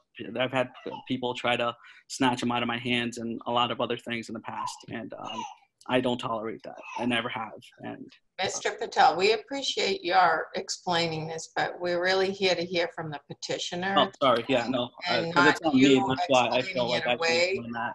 From what I, if you don't mind not talking over people too, from what Oh, I can understand, I, I heard the petitioner say he was the one that did the sale. Am I mistaken when I hear that? Did, was it, was it you, Mr. Lang, Yes, that yes, sold? I did. And Yes, Mr. Patel wasn't even there? Is He that? was- Yeah, he would step was a out full- and then I'll jump jump and help him out on that moment. So I'm the one that take um make a mistake that that sale. Ok- Okay, so you currently employed there? I'm no, I'm in the training there. You're in training. Yeah, I'm going there watch the business and see how it runs and almost every day, yes. Okay. Yeah, he, he wants to check up on, uh, sorry, may I speak? Sorry. So I, I'd like to give uh, opportunity for the o- other members to ask any questions of the petitioner. Mr. Wallner, have you, um, Mr., um, I'll, I'm gonna get to you, Mr. Gonzalez. Mr. Wallner, I- I any questions? just- I would just ask for the new, for the new owners, has anybody done a background check on them to verify, you know, the claims? Has that, is that standard practice? I don't know if that's standard practice or not. Mr. Gilleberto? Our, our practice is that we do a, um, a CORI check and a civil fingerprinting check on their background. Um, they also are required to fill out, um, an application, which you received in the packet, that details what they've done. Um, in terms of, you know, extensive follow-up with, uh, outside of the community on the businesses that they claim to run, we do not generally do that. Um, although these, uh, transactions are all reviewed by the Alcoholic Beverage Control Commission, so they may conduct that. Uh, But that's the extent of, of, of our review. Okay. Any other questions, Mr. Wallner? Uh, so when does the, Al- when does the ABCC do their thing? A- After the board votes favorably, it's forwarded to the ABCC um, for their, uh, their approval as well. Um, okay, thank you. Uh, Mrs. Gonzalez? Um, do you have the equipment in the store that runs the IDs and tells whether they're valid or not? I forget the name of it. There is an ID check system software, but we I do not have that because I've been using handmade books that I get from the beer distributors every year, and that has a lot of detailed information in terms of to spot fakes and whatnot, and that is what I use to spot a lot of fake IDs myself. Um, but in terms of a software, I do not have uh, um, a verification software. But Any other- Kevin and um, Susan can definitely look into getting one. They're not that um, hard to obtain. Um, If you definitely will. We will do that. Um, may I say something? Of course. Um, so Mr. Wallner, I did have my CORI check done this morning, so that's all situated and it went back to the town already. Okay, thank you. Thank you. The CORI checks are part of this, and there's a requirement for Department of Revenue form to be provided to make sure that the parties are up to date with their, all of their financial requirements. And um, I think all the CORIs, the CORIs did come back already, right, Mr. Gilleberto? Both CORIs came back. I believe so, yes. And both petitioners are, uh, have their tips document. I did see that, the tips documentation there. Mrs. Gonzalez, do you have any other questions? No, I just, it's unfortunate that that violation had to happen at this, at any time, but especially at this time, it makes this decision a little bit more difficult, you know, to consider. But Mr. oh, Excuse me, Mr. Lang, I'm sorry. Go Yeah, if I may may say something, ma'am, um, the situation that happened yesterday is unfortunately it's happened. It shouldn't be happened. And I promise you, if I will run in there, if the board allowed to transfer the license, I will guarantee it's never going to happen. We'll put the equipment in there. We'll make sure the uh, all the employee will be trained, and they all have to be a, a tip class, and they all have to be trained very well to uh, to catch the underage. We we're running the business. We have intention to run the best business in town so we don't have any of those situations my intention is to be the best neighbor in town if the board allowed to transfer Do you have any other questions, Mrs. Gonzalez? No, thank you. Um, Mr. O'Leary, any questions? Um, Just to the applicants, uh, in your other establishments, do you have any of this uh, software for um, identifying fake identification? the the other establishment we don't have it also so And then um, I was looking at, at your application. I don't see anything listed in South Boston. I see the Somerville, Swampscott. Uh, you mentioned someplace in South Boston. I just don't see that on the application. i'm as the uh, silent partner 50% silent partner Oh, Silent partner, okay. yes There is- There is no such thing as a silent partner in a liquor license. Must be economically. Anyway, I, I do see the certificate of good standing, uh, tax compliance, and I see the same thing for um, Division of Unemployment. So that's all set as far as the application goes from the, uh, to transfer it over. Um, I would just like to say that, you know, Sonny's been a good member of the business community for, for five years, and congratulations on the birth of your child. You and Mr. Stuto have something in common here, although he's got two up on you, so he's got three up now. losing sleep, but enjoying every minute of it. Yeah, I yeah. can't ask for a better experience. Uh, if you want to, you want, want to know about experience, you just give uh, Vincenzo a call. He'll, he'll fill you in a little bit. Um, but again, I we appreciate you know you being a good member of the business community. Um, I intend on uh, voting for the the transfer. Um, again, it's an unfortunate set of circumstances that occurred yesterday. Obviously, um, you know, I would anticipate that you you would put in uh, the requisite amount of uh, the software to uh, do a little better job in relation to the uh, identifying, because I don't think it's that expensive uh, to do. So I intend on, on supporting the, uh, the application, the petition here. Um, But, and, and welcome you to the community uh, if the rest of the board members go along with this and look forward to having a long and successful career here. But uh, again, be mindful that, you know, our local police department does a very good job of, um, as Sonny can verify, They do an excellent job and they're always there for you when you need them. Yeah, So so- they're a great asset. but, uh, but again, it's unfortunate what occurred. um, But I still think it's, uh, the application and the experience that you bring um, warrants uh, support of the application. Th- Thanks, Mr. O'Leary. I'm gonna, we got a couple of red flags here. So if your application doesn't have your interest, whether you call it silent or not, you're gonna have to submit a updated application with any interest that you have. Because the application is pretty comprehensive and it, if you have a beneficial interest, we just went through a public hearing for just a shift of of what Mr. O'Leary explained was an estate planning matter.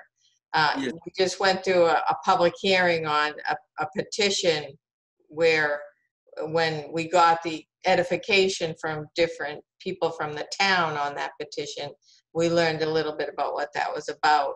So even that slight change of uh, ownership, of beneficial interest is required to come before the board. So whatever you have has to be in that application and there's, there should be, that information should be included.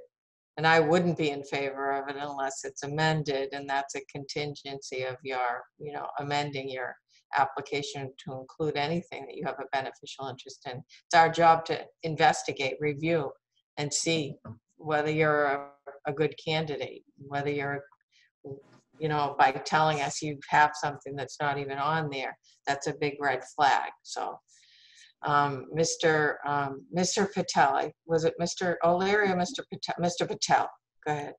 Um, so from what I understand is it was so from that red flag you were speaking of, it's it was a more of a monetary transaction rather than an actual um, ownership of the license, if I understand it correctly, because um, it was they've been friends and associates and colleagues for a long time, and it was more or less they loaned money to the other party uh, the owner, and then it was uh, uh, more or less a handshake um, deal for, between them.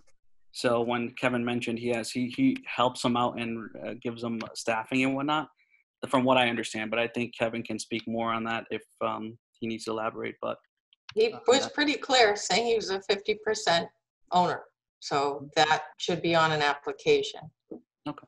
Um, But, okay, does, then- does anyone else have any questions? Um, And we'll, we'll get- we'll get to speaking in favor and again. Mr. Stuto, did you have your hand up? Yeah, um, um, Mr. Ling, what's the name of the place in South Boston where you have just the monetary interest, if I'm understanding that, please? It- name it's called, it's called Broadway Social Wines. Okay, It's a Thank you. retail, retail establishment? Yes, ma'am. Okay, so if, and is there anything else um, that any of the, uh, any members have any questions on? All set to the members? And is there, is there, I'm gonna take um, question, uh, comment and, and um, public comment.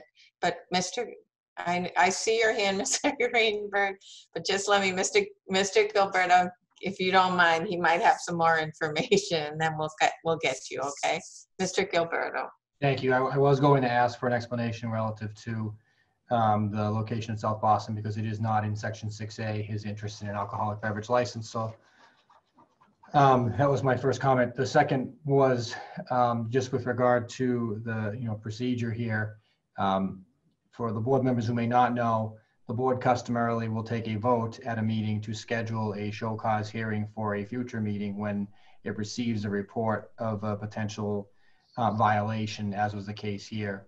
Um, And so, you know, in this case, that's, that those are steps that are going to need to take place, at least the initial consideration of a vote was not on the agenda for this evening. Um, Obviously, so I'm not asking that vote take place this evening, but we certainly should look to do that sooner rather than later so that a hearing can be scheduled sooner rather than later if there is in fact going to be a transfer of the license, um, so that it can, you know, any potential discipline can be served by the current licensee. So I, I do want folks to keep that in, in mind. And Ma- Madam Chair, you and I can talk about what the best way to handle that, whether we schedule a, a quick special meeting to schedule that hearing. Um, so that we can address um, that, that issue because it does, it's normally something that gets scheduled for a hearing and then there's a full presentation as the board members know. Thank you. Okay, thank you. Now I'm going to open the, oh, going to open the hearing up to anyone that would like to speak in favor or against or have, has comment. And I did see Mr. Greenberg. You're on mute, so if you could unmute yourself.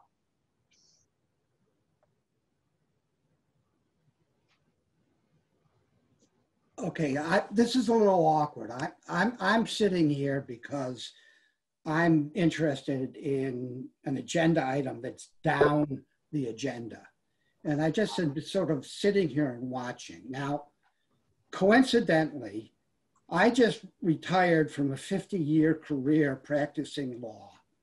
And I represented during the course of my career many, many license holders, and I am familiar with the requirements of Chapter 138. And just in passing, I am deeply, deeply troubled what I have just heard. Because I've heard what I've heard sounds like an admission of a knowing violation of a very important provision of Chapter 138. And I've heard Mr. Patel try to deflect and defer that. I'm really troubled by this application. I'm done. Okay. All right, thank you for your comment and, and Paul, thanks for sticking around. Uh, We'll, we'll get to your stuff too pretty soon. Whatever. Okay, is there anybody else that would like to speak on this application in favor or against? Um, I do not see any hands, any other hands. Mr. Gilleberto? I don't see any electronic or uh, real hands. Okay. Any other, so seeing none, I'm going to close that portion of the hearing. Uh, Is there any other comments? And we can take a motion, deliberate, discuss further. Mr. Stuto, do you have a motion?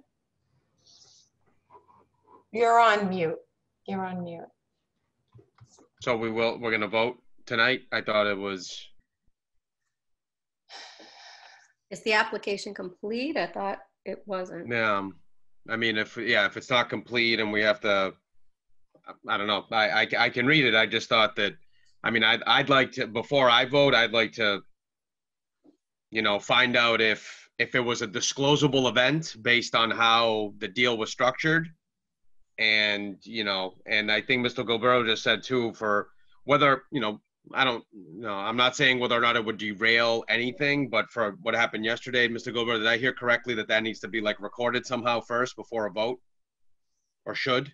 Uh, I, I'm only saying that um, the board customarily votes to schedule a hearing, has the hearing, and then if there is any discipline that's issued, you know, that that discipline would need to be um, affected, whether it's a suspension or some other, some other action. um, And that you, I think, I would presume the board's intention would be that it would be served by the current, current ownership.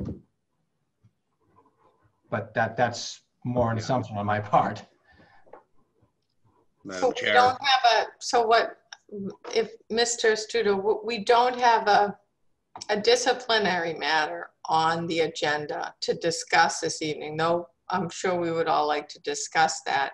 It did come up in the presentation because we're trying to determine character and reputation and sufficiency of the petitioner as part of our responsibilities here and their ability to hold the, hold the retail license um, and comply with the law. So that did come up, just like a CORI check comes up and other things come up for us. Um, so we don't have the discipline before us to address, so we don't, we're not, we're not gonna, we can't hold it as a reason not to grant or deny the license. We have to do that independently of that disciplinary matter, although okay, we know, we know from the information that it was the petitioner that did the sale.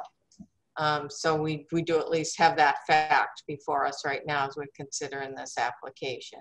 So, can I just ask one more question then, if that's the case? Do you mind? Uh, I'm not trying to drag this on, but, and this question, Mr. Ugg, the, for Broadway Social Wines, who is the actual registered owner? Who's the primary, who runs it? The name? It- It's Saeed. Jul Saeed. Yes, sir.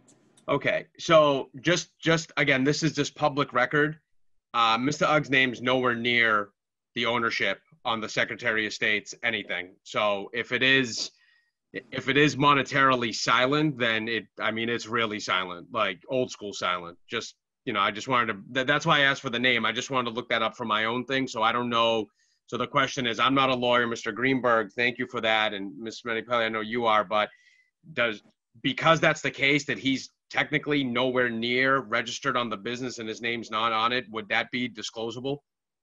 Yes, because it's part of the application. So, and even the financing of a transaction, but we don't really know if you want to ask more questions of it, but we don't really have that other application before us and to see what was submitted on that. But Okay. any type of a loan that's granted for someone to obtain a license has to be disclosed, even if it's a personal loan, a promissory note, a bank loan, anything like that is part, is part of the financing of a license transaction because the ABCC follows the money. We're supposed to get a specific amount of documentation demonstrating where the money's coming from for the purchase. But the ABCC goes even further and follows the money trail here. So they're, they're, they have, also have an intense financial review of these applications. Okay. So- Thank you for clarifying. Um, so we can, the, um, our option, if you wanted to consider, and I don't know, um, I- I- if we- if we're, we're gonna vote on this, we could also, we have the option to vote on it and vote on it with these contingencies that could be added, which would include them providing a full disclosure in their application. Um, we have the option of, uh, you know, tabling it or continuing the public hearing to a later date till we have that. I don't know what the board's pleasure is here, so. Mr. O'Leary, you're in favor of us moving it forward. Either that, or I'm, I'm in favor of uh, continuing it until the board members get uh, comfort level, one way or the other. Uh, So continue it till our next meeting. That's what, a couple of weeks? Yeah, November 2nd is what I say. Yeah and is that um, Two the weeks. general consensus, Mr. Wallner? Yeah, I, I kind of feel good about, let's get this cleaned up a little bit, you know, um, then let's give us a little bit more time to get things straightened out. And two weeks doesn't sound like a lot to ask from my point of view. Okay, Ms. Ms. Gonzalez? I agree. I'd like to table it, um, get the application squared away and have all our information. Okay. And Mr. Stuto, I think that's where you are, you're at. Okay, so Mr. Gilleberto, we're, what we're, would like to do is continue the public hearing. Yes. So we take a motion to do that. Do we have anything else scheduled for that night for public hearing wise? Um, I do not believe we have anything at this point in time.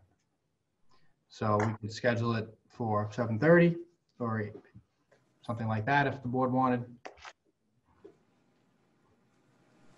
Madam Chair, I move to continue the public hearing on the application until uh, November 2nd at 8 PM. Second. I have a motion by Mr. O'Leary and a second by Mr. Stuto. Any further discussion? Seeing none. Mr. O'Leary, Aye. Mr. Wallner, Aye, Mrs. Gonzalez, Aye. Mr. Stuto, Aye. Manu Pelley is aye. Thank you. Okay, so we'll be back. We'll, we're gonna uh, afford you the opportunity to complete the application so that we can do more of our own vetting of the application and get some of these questions answered. And then we will have you back to conclude the public hearing at our next meeting, okay? Thank you, Okay, guys. thank you. Thank you. Thank you very much. You. All right, our next order of business is the report from Server Training Program Auditor. Mr. Gilleberto. Madam Chair, thank you. And uh, the board's designated auditor, Ms. Luckowitz, is with us here this evening. Amy, how are you? Hey, everybody. Good evening. Thank you for hanging in there. Of course. I know that stuff is important to you. What we were just talking about is pretty important to you. Yes, thank you. Go ahead. Okay, uh, if it's okay, I'd like to share a screen. I um, have a very brief presentation. Sure. Okay, thank you. Okay.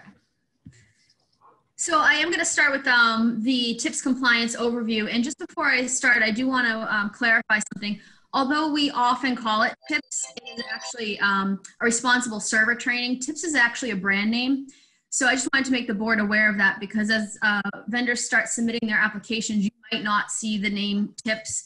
Um, ServSafe, for example, does one, and I've actually come across uh, four or five different uh, training options. So um, for the purpose of tonight, oh, I'll, I'll call it TIPS because that's kind of what we call it around the industry. Um, so during the first quarter, I was able to complete uh, visits to all of the retail and common victualers um, license holders. You can see that we had uh, during quarter one, two violations and then six violations. Of course, because that was the first time we had ever done it, there were no repeat violations. Uh, rightfully so, during quarter two, I was sidelined, uh, not allowed to go into those businesses if they were even open. And so I recently completed quarter number three, where you can see that we had a total of six violations. I am happy, oh, excuse me, two of those were repeat violations. You can see it was um, Eastgate and Joe Fish. I will tell you that in all cases, all violations work with me very quickly to update their tips training or get get me um, a copy of the certificate that may or may not be uh, or, or, is not on on the location. I will note that on during both of those quarters, I was unable to visit Hillview. I visited, I think, a total of eight times, eight to ten times. Never was able to catch them open. Um, and from what I understand from the pro shop, specifically Hillview, they really haven't been operating um, at all. One of the key highlights, though, was after the first quarter, through a small grant with uh, Winchester Hospital, I was able to offer all of the retailers as well as the restaurants, anybody who wanted it, actually, including Aldersgate, um, who wanted to get compliance trained, a free class. And so we had 68, that's a typo, 68 individuals um, take that class, saving the businesses a total of $2,165 and I was very thrilled to get that kind of turnaround um, participation. Again, it, it's our goal to not have any violations, and we could not have made it any easier. We removed the financial um, cost to getting people trained, and that worked very well. Um, moving forward, I hope that we'll be able to offer that again, although it will be funded from the Drug Free Communities Grant, not the Winchester Grant, as that has expired. I can talk briefly on NRPD compliance. Um, they were able to do observations on three dates. And just to explain what an observation is, we have detectives that go in undercover vehicles to various locations and look for what appear to be underage buyers. And then they run um, their backgrounds and see if the uh, if those purchasers are underage. Those had, I'm very, again, happy to say that they had no violations. Those all happened in the first quarter. Um, as you heard, we had two violations yesterday of retail undercover um, you uh, just heard about New England Beverage as well as uh, Lucky Mart had a had their violation, and um, we were not able to do that for restaurants though because of the rule regarding eating on premises when ordering alcohol. So uh, we're not able to check that. That is something that has been a change since COVID. Of course, we normally would do that, or the NRPD, I should say, would normally do that. It's overseen by detectives, but we weren't able to do that because of the rule related to food. A couple of youth programs I wanted to highlight. Um, the first is Shoulder Taps, and this involved our North Reading Youth Action Team. It was really well received. And what happens is this is targeted for retail locations, and it's meant to be an education program. So what happens is our youth stand in front of the uh, venues and they ask uh, customers casually if they would buy alcohol for them. And I'm happy to tell you that we had 47 no's and a whole lot of finger wagging a whole lot of uh, customers who gave the kids a really good stern talking to before the de- detectives could intervene. Um, that's my best case scenario is that everybody said no. And these are the cards that uh, they get hidden, uh, handed out to them. So if somebody says no, they get a card that says, thank you for protecting our youth. And if somebody were to have agreed to buy them alcohol, they would get a red um, card that says think twice.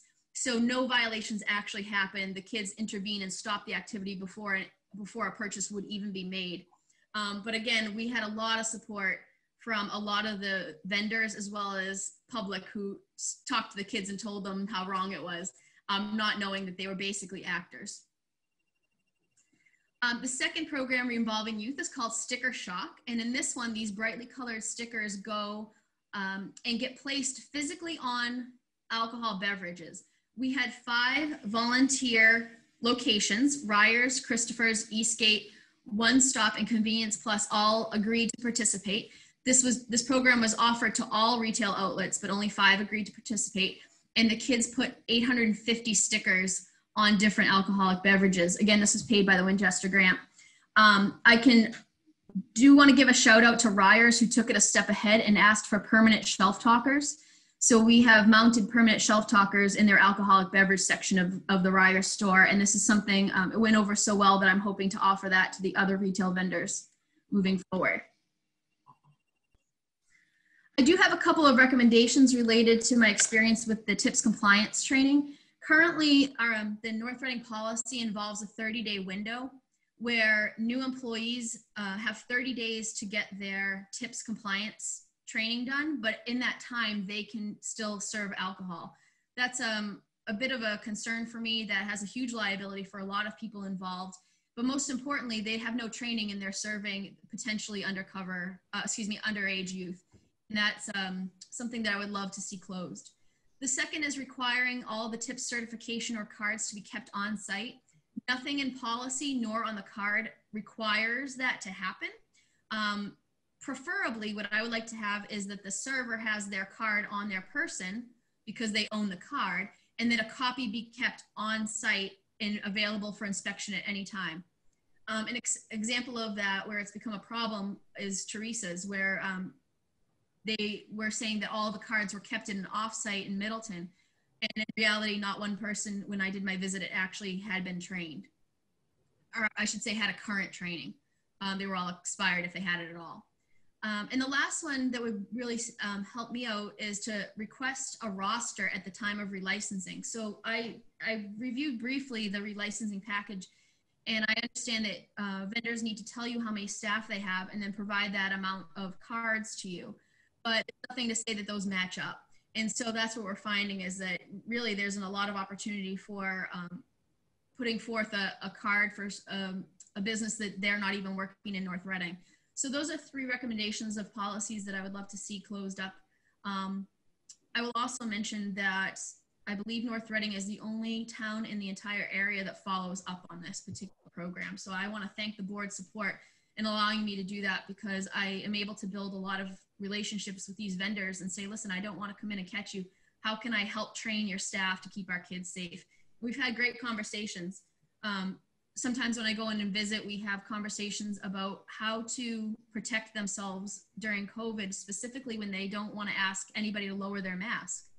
You know, that was something that we started seeing a trend around the beginning of summer. We got some um, some notifications and some leads that a lot of vendors were not not just in North Reading but across the state were not properly IDing people because they don't want to ask to lower their mask, and that's totally understandable.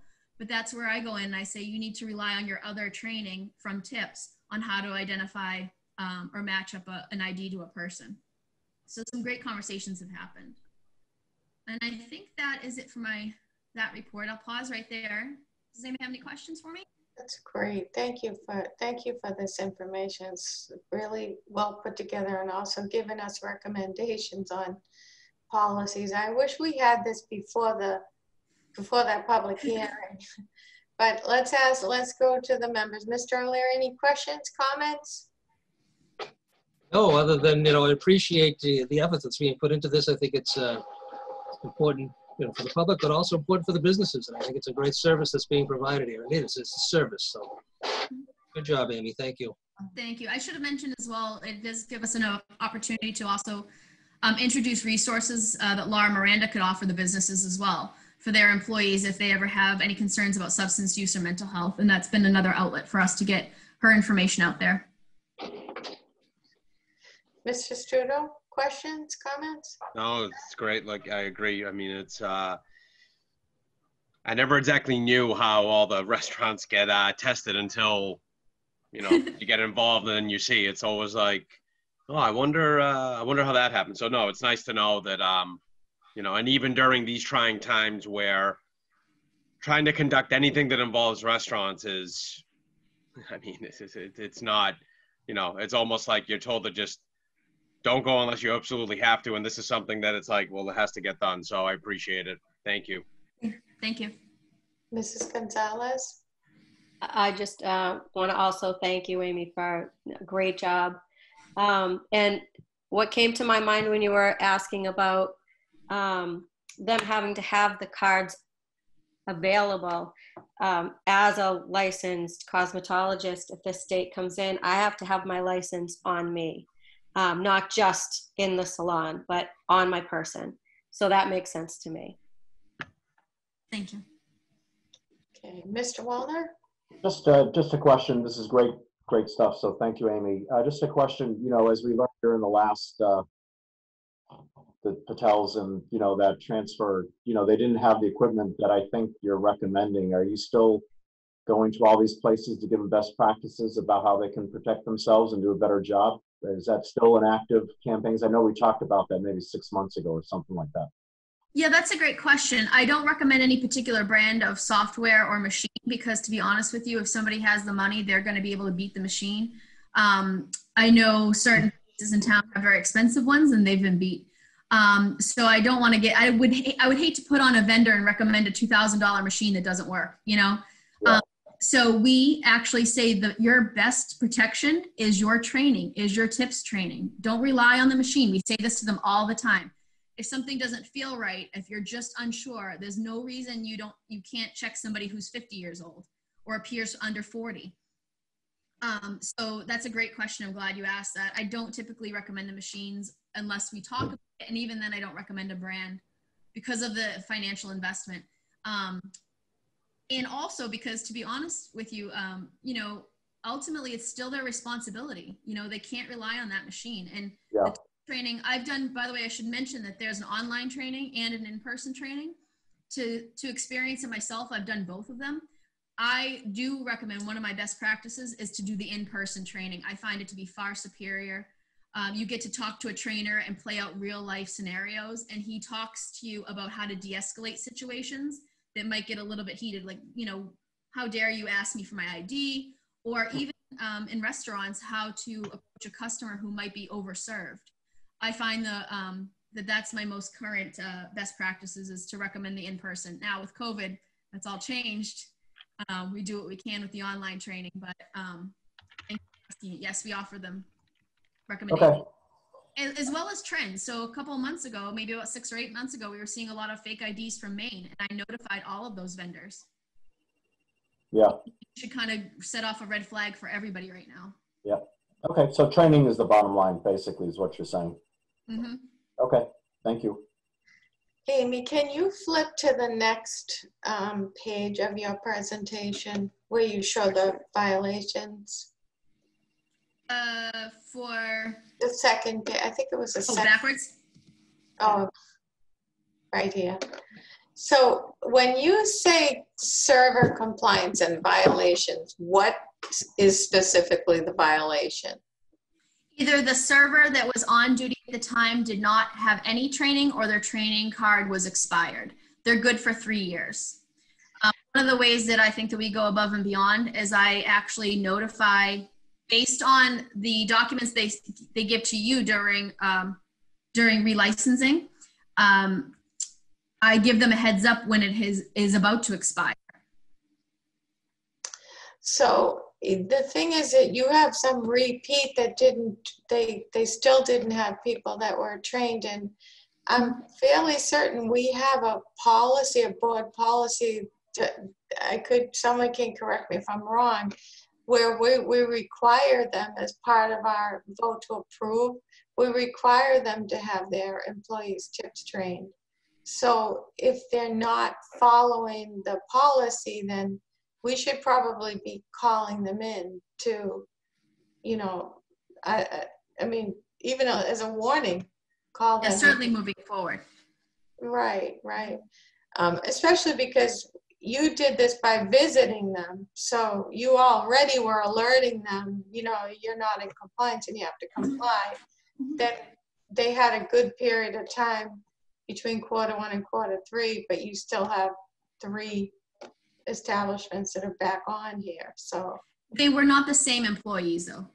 well, that's still the same let me- issue. though, I right? agree, but I just want to clarify that they were different employees. Yeah, yeah. So, but any employee that's serving has, to or selling, serving or selling is required to be tips trained. So, or, um, you know, com, serve a compliance trained. So is there, um, another training that you'd be offering anytime soon? Or did you run out of money for that? Um, I ran out of the Winchester Hospital grant. I um, I think I would like to offer this again. Um, I know you have licensing coming up. Um, now might be a good time to do that. Actually, let me have a look at the budget. It again, we had 68 people take it on, so it cost just over two grand. Um, I think that's something a cost that I can absorb right now. Well, if, if it's by grant though, but the, it's a business expense, so the business should It be is. paying for it, not you for them, right? I It think is, it's but great we were that trying to you- remove any. You found some funding for it. I think that that's wonderful that you did that for them and that they took advantage of that. But it's something that they're required to do anyway. That was kind of a gift that you were able to do that, secure funds to do that for, for at least those 68 individuals. So um, maybe in terms of if the, if, it- I know we are not voting on anything, but that maybe what we can do, because we're now in the renewal process time frame, and now is the time to kind of basically hammer home the issue here. Um, Maybe we can include something in the, um, you know, annual renewal process. You know, that maybe we can think about this for our next meeting, which is, is that in, will, no, and it won't be before renewal process, but renewal applications are due by the end of November. So maybe we can basically make sure that these establishments are in compliance or at least know what our policies are. And then add those policy recommendations under consideration. We should maybe take that under consideration at our next meeting, because Amy didn't just do all this effort for us, she's also making, making three, I think I heard you make three policy recommendations. Yes. We should maybe consider those. Right. All I right. will also, um, I know that there's a spreadsheet that's been set up, um, to share information related to violations, so I'll be adding comments in that as well for your review during licensing. Well, thank you for your, thank you for your work on this. I- The next, um, we have, the next item is yours too, right? Yeah. Let me just get back to the agenda here. Sure. Uh, if you can believe it, we're, we just hit the end of year four of our five-year drug-free communities grant. So I'm going to provide a very quick snapshot on that. Um, just a little reminder about what DFC funds. The federal DFC can fund um, activities to grow the capacity of the coalition. And I know we have two volunteers. I think I saw Rita and um, Rita Mullen and Marcy Bailey on tonight, um, who are very active members of CIT in general, but volunteers as well. Um, 100% of my salary and benefits are come out of the grant, as well as activities to reduce youth use of alcohol, tobacco, vaping, marijuana, and prescri- prescription drugs. And I'll just add um, for your own information that tobacco and vaping federally is still lumped in the same category, but in North Reading, we separate it out. So we actually tackle five specific um, substances. Everything we do has to fall within the seven strategies for community change. It's all science based, it's not a guesswork. And we believe local problems warrant local solutions. And so, in addition to the seven strategies, we also focus on increasing protective factors and reducing risk factors, as well as building the capacity of parents to um, build healthy kids. So, just a little bit about uh, the shutdown. When I had been in with uh, Chief Murphy and the lieutenants for budget hearing, we talked about all of our spring plans we had for providing outreach and education. And I'm sorry I tell you, we had 34 programs between myself and Laura Miranda that had to get canceled. But we did um, have some other successes. We were able to offer prescription drug take-back bags that I uh, hand delivered to people who are not able or willing to come out of their homes during COVID. This allowed them to safely dispose of uh, prescription drugs in the home um, in an environmentally safe way as well. We partnered with the Senior Center to produce resource door hangers. We were able to provide a few and limited presentations, including nicotine cessation uh, programming to the school staff. So if they ever had uh, students who needed to kick vaping or nicotine, they had proper resources, as well as uh, other resources through Laura Miranda. One of our biggest uh, COVID roadblocks, though, was the collection of data that we do annually. It is required by the federal government that we collect four pieces of data about each of those substances that I mentioned. And I'm sorry to say that although the survey was held, the response was so low that it's not statistically valid. So we're not able, you're going to see a gap for 2020 on our data reporting. The feds understand this. Um, it is what it is. It's really unfortunate because this was the year that we had really tackled marijuana and vaping, and I was anxious to see those numbers. So next year, um, and I get asked all the time, what do I think the impact of COVID is on youth use? And the truth is, it's just guess at this point. We don't have data, and I hate making guesses. So that's been a real uh, setback for me personally in our program. Few accomplishments though. We did grow the coalition to 37 volunteers, and I can't say enough how important the volunteers are to this project. Uh, they're everything, and Chair Marcy Bailey is a wonderful and outstanding leader uh, who's been, I think, chair for three out of the past four years, if I'm not mistaken, and uh, hope she continues. We did hold four public presentations at the school. Those were in partnership with the public school parent associations. They're wonderful. They do all the vetting, they find the speakers, and we pay for them, basically. It's a great partnership. Detective Lucci and I were able to get into the classroom to do some eighth grade blood alcohol content and brain development classes. But unfortunately, COVID hit and we weren't able to get the second semester health kids. So, again, that's a gap for us. Laura Miranda and I became uh, trainers in the 40 developmental assets. We had launched that campaign hoping that we were going to start a campaign to become an asset rich North Reading. COVID got in the way, but we were able to onboard about 70 public school teachers. And um, hopefully, we'll re kick that off in the spring. Jen Ford took over the youth action team during the summer, which is a big help. Um, those were the kids that did the sticker shock and the shoulder taps that I had mentioned. They also ran a program called the Breezy Bike Bustle to encourage mental health and outdoor health, as well as created uh, their own COVID infographic. So they've been they've been a lot of fun to work with. Um, we also are able to assist with local vape and tobacco regula- regulations. If you remember, um, Representative Jones appointed me to the State Vape Commission, and although we had had several meetings that got halted, but we're able to provide support for various House bills that modernize tobacco, so basically raising fines and taxing vape products comparable to tobacco, as well as ban menthol and mint. So I'm happy to do that. But for me, um, my favorite thing to do is policy writing and advocacy. And um, just as a reminder, every February, I'm able to go to Washington, D.C. and meet with uh, Congressman Moulton, Senator Warren, and Senator Markey on this topic. And I'm super happy to tell you that this, this issue of youth prevention has bipartisan support. So although they send us in, the frontline workers in to advocate for continued funding, it really isn't necessary. Um, we have wonderful bipartisan support for youth prevention. And oftentimes we get asked instead about that, what we do is how does North Reading incorporate mental health treatment and prevention and enforcement all within a police? it is something that uh, this town should be very proud of. It's we've been working in this model of having social services built into the North Reading Police Department for several years now, and we have evidence that it works. Specifically, it uh, shortens response times for getting people resources, and it also facilitates communication. You know, when you have me doing uh, prevention, Laura doing resources and treatment, and uh, the officers doing enforcement in the same house, it just makes sense. And so oftentimes when I go to Washington, they're asking me questions about that model. And I think it's something that we should be really proud of here, that this is not just something new for us, this is something we've been doing for a while.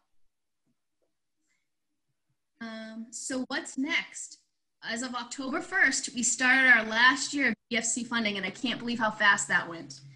Um, It ends September 30th, 2021. So uh, several months ago, Chair Marcy Bailey began looking at our sustainability plans. And really, we have three options. The first is to apply for another five years of DFC funding. The second option would be to adopt part of our budget in, as the town budget. And the third option would be to rely completely on volunteers. Um, of course, option one is our goal. And so during COVID, um, the majority of my time has been spent researching and writing. Although we scored really high on the last grant, that doesn't mean we're going to do well on the next one because it's competitive. So a couple of challenges I want to highlight that if we apply, for, well, when we apply for the next round of funding, um, it does require a match. This has been a requirement the entire time, but it's always been a one-to-one match. Starting on year seven, actually, it's going to be um, 125% match, and then I believe it goes up to 150% match. That's not really a challenge for us because of how much uh, of the North Reading Police Department resources we can include as part of that match. So I'm not that worried about that one. But one of our challenges is operating it as a new system. We just got moved for from um, the National Institute of Health over to the CDC. So I'm having to learn all new systems, including um, grant submission and reporting systems. These are not easy systems to learn. They've never been easy systems. And I think I'm on my fifth project manager now in five years. Continues to be uh, a challenge. We have been promised better communication and better support. Fingers crossed, because that has really been a struggle for five years. We're not guaranteed funding. Um, so although I mentioned this has bipartisan support, as you know, CDC right now is not very popular. And so because the funding comes through CDC, there is a chance that our, our grant could be cut in any of the years. It goes year to year for appropriations. And the last thing is it is com competitive. And so I want to explain to you how the grants are awarded. You're scored on a score of 1 to 100. And what they do is they take the pool of money and they fund everybody who got 100, then all the 99s, the 98s, and they keep going until the money runs out. I believe when we got our last award, we scored a 93. We scored lowest in data collection, so that's what I've been spending the majority of my time on, is strengthening our application in the data collection area. Excuse me. Um, and just a little bit about the projected timeline. Now, this is if everything is normal.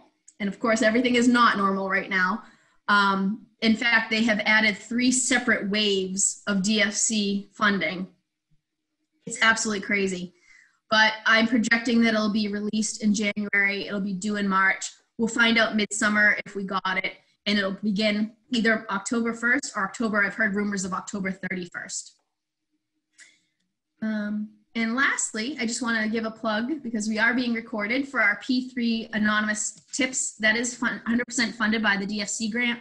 And we've received over 100 tips, um, some related to COVID, some related to uh, drug dealing, related to online cyberbullying, and across the gambit of things.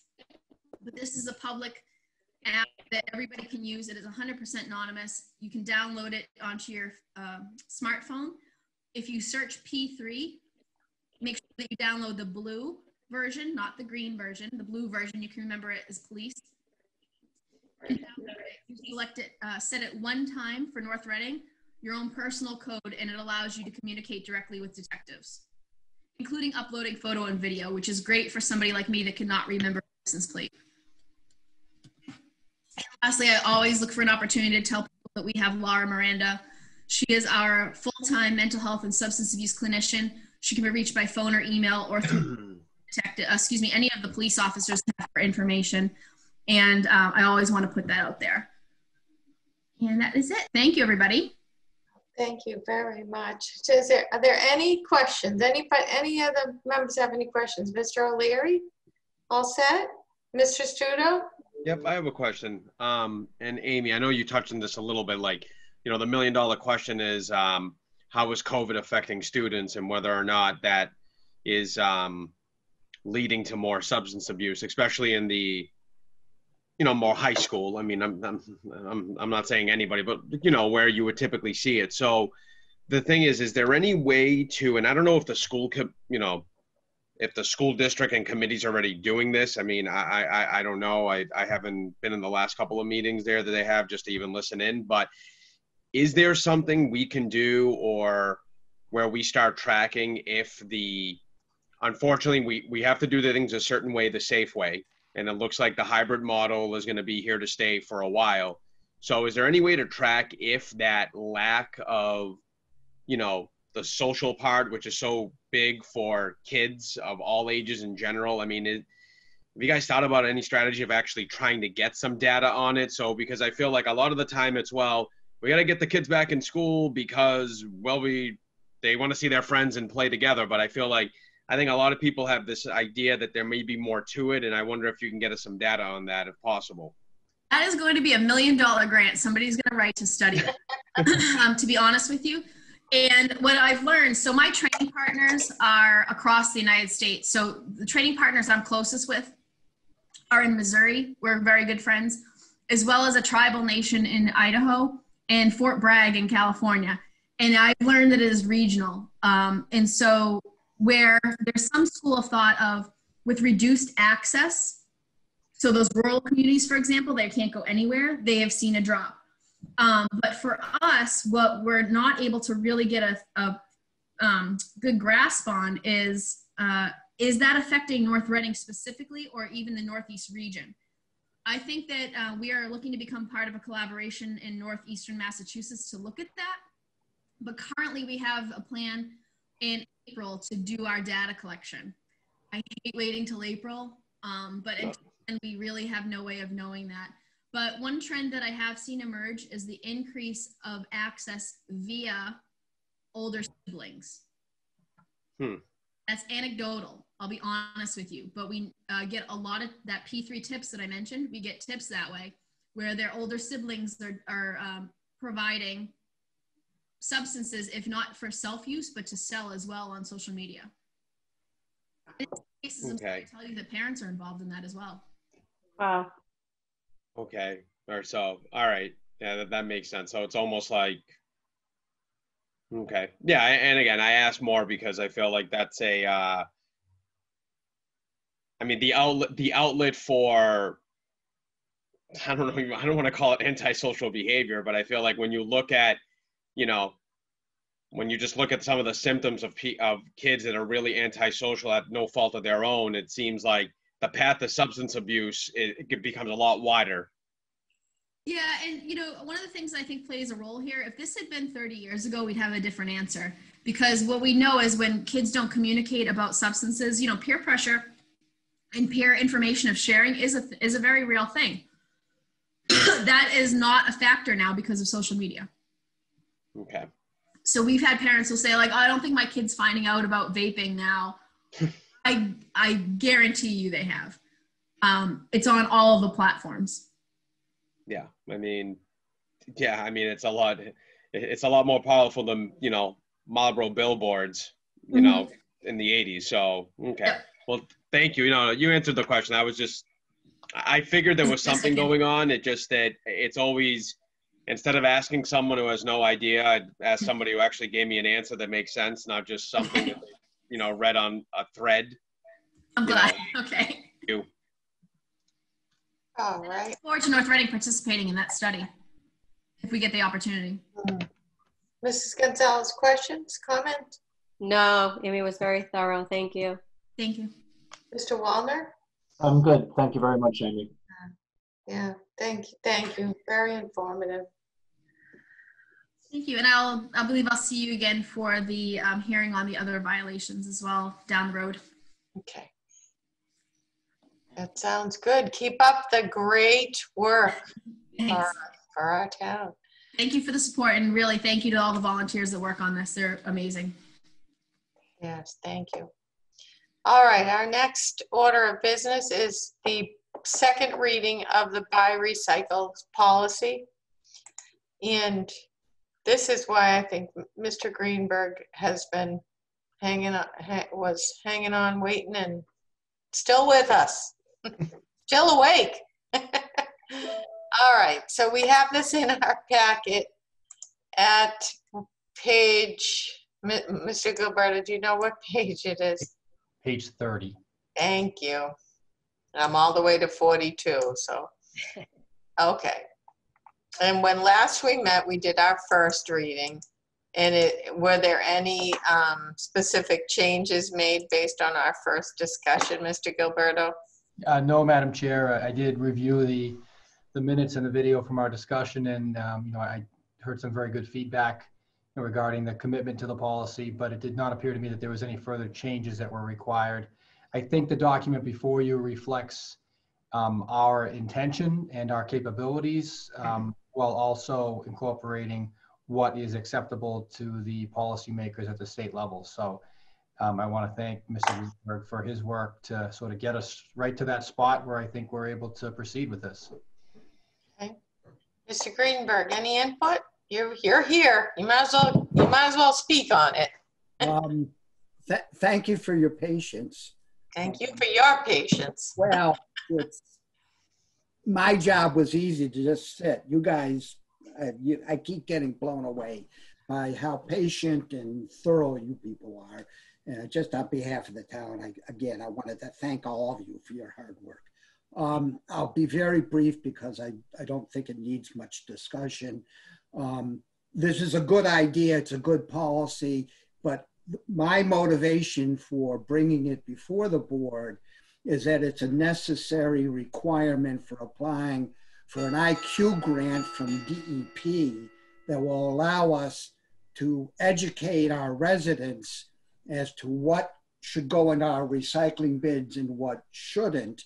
Very important issue. As I've mentioned before, JRM's contract comes up for renewal next June. This is going to have our ability to clean up our recycling stream, which desperately needs it, will dramatically affect financial matters having to do with that contract. So I very much appreciate the board considering it. Thank you. Any discussion? And Mr. Gilleberto, do we need to actually read it for the second reading? The board has not customarily done so, and I give you particular credit for having read it the first time. So, um, you know, I think that the, I don't think it needs to be read again, especially where it's unchanged. All right, Mr. O'Leary, your thoughts? You're on mute. more people appreciate that than, you know, that I am on mute. Uh, No, it- Dan, uh, you and your group, thank you again for uh, your efforts bringing this to our attention. I think it's, this is an easy step that we should be taking and look forward to, uh, to endorsing it. And um, and you're right, the public education on uh, our recycling just needs to be stepped up a bit. And that's certainly going to impact uh, the contracts going forward. So let's go for it. Okay, thanks, Mr. O'Leary. Mrs. Gonzalez? I, I'm so thrilled to see this happening. Um, and I can't say enough about education, education, education. I mean, even myself, I'm learning. Um, I just learned that you're not supposed to take the caps off of the water bottles, which I've always done, just thinking that that, that was a good thing. And it's not because the caps can get caught up. So, you know, there's just all these little things that we need to know and learn. So um, I'm thrilled with this. Okay, thank you. Mr. Stuto? Anything? You're all set? Mr. Mr. Wallner, anything? I didn't know about the caps either. Right? So keep the education coming because I'd Yeah. like to be compliant, you know? And I, and I take responsibility for training my household, so there you go. All right, so do we have a motion? I think, oh, Mr. Gilleberto. I know he's hiding behind the uh, screen being shut off, but Mr. Deming has also been very active in the conversations with Mrs. Gonzalez, Mr. Greenberg, and I. Um, You know, not just for this, but for some other issues we're trying to figure out for trash and recycling collection as well. So I do want to recognize him. Thanks, Chris. Absolutely. Yes, thank you, Mr. Deming, for your work on this. So are we good to adopt? Uh, We think, I think we might have a motion in there. Yep, Madam Chair, I move to hold the second reading of the buy recycle policy and to adopt the policy. Second. Motion by Mr. Stuto, second by Mr. O'Leary. Any further discussion? Seeing none. Mr. O'Leary, Aye. Mr. Stuto, Aye. Mr. Wallner, Aye. Mrs. Gonzalez, Aye. and Manupelli is aye. That's it. Thank you all. Thank you. Thank you and good night. And All right, our next order of business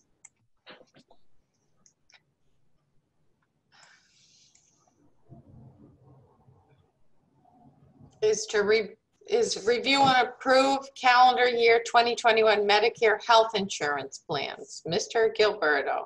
Madam Chair, this is, uh, I think, a pretty straightforward one. Um, We got a renewal for our Blue Cross Blue Shield and uh, Tufts Medicare plans, which is mostly for, um, for our retirees. Different than the um, active employee plans, these plans run on a calendar year basis, so we are generally before you this time of year. Sometimes we've been here having to have difficult conversations relative to the plan design in order to try to get the premium down to a manageable level. Fortunately, this is not one of those years. Um, the renewal rate for the Blue Cross plan was a 0.6% increase, and the renewal rate for the Tufts plan was a 4.01% increase. Both are within our projections for um, the um, budget during the current fiscal year, and we are recommending the board vote to approve the rates. Great. We did review this with the Insurance Advisory Committee, um, and the um, retiree representative was uh, in attendance at that meeting last Thursday, so they are aware that this is um, what's pending. Okay, any questions? Mr. Stuto. I just have a quick question. So do we, and I just don't, um, for, for current employees and retirees, it's, um, the town pays the hundred percent of the cost of the premium? Or is there a sharing? I, I, I don't know. I've never, I've always been private sector, so I don't know. So the, the share is a 50%, 50% split for our Medicare plans, which is the ones that you're voting on right here. That is the, I believe, the maximum allowed um, under state law in terms of uh, the ability for us to pay the, uh, the town share. Um, The, um, the active employees, it's a 70% share paid by the town and a 30% share paid by the employee. That is not part of this group, though. Okay, thank you. Okay, any other questions? Do we have a motion? Yes. Madam Chair, I move to approve the calendar year 2021 Medicare Health Insurance Plan. Second. Motion by Mr. Stuto, a second by Mr. O'Leary. Any further discussion? Seeing none. Mr. O'Leary, Aye.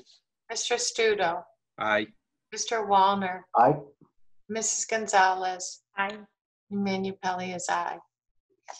Next order of business is the up, I'm sorry, hold on a second.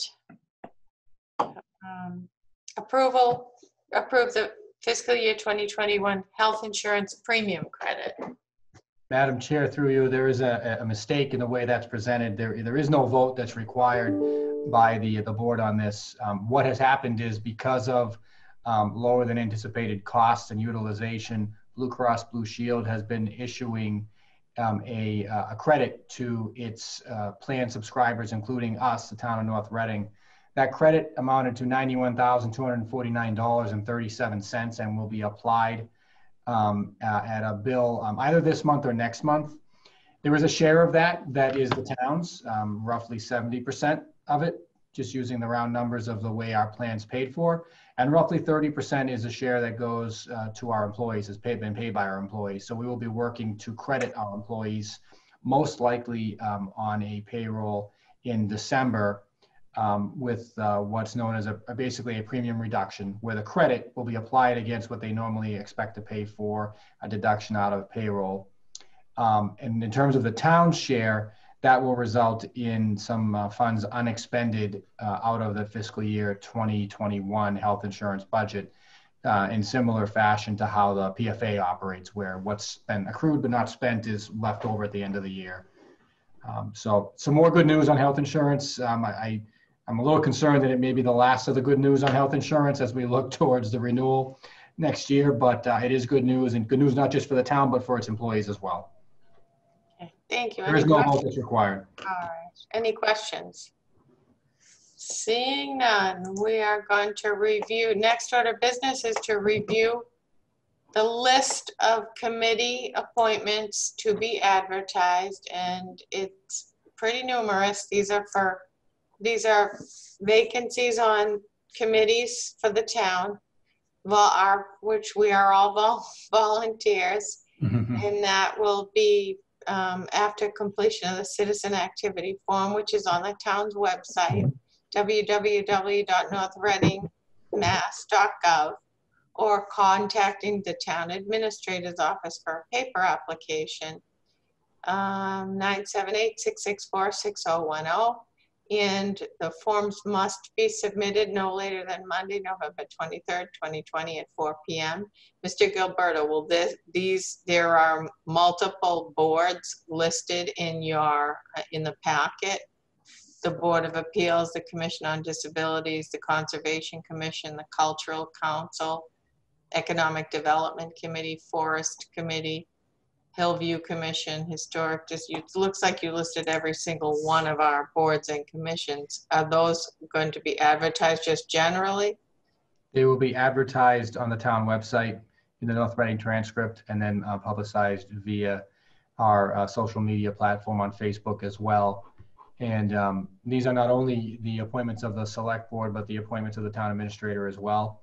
Um, The practice has been to advertise any position which is coming up um, as a appointment or reappointment.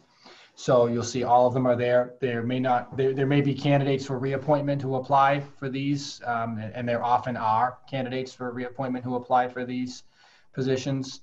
Um, but uh, this is the list, and it, and I've uh, already told Mrs. Uh, Ms. Doherty to expect that we'll be submitting it to her tomorrow. Um, you know, so this was just intended to highlight that we'll be advertising it to let the community know that there is a deadline upcoming for appointments that are traditionally made in December.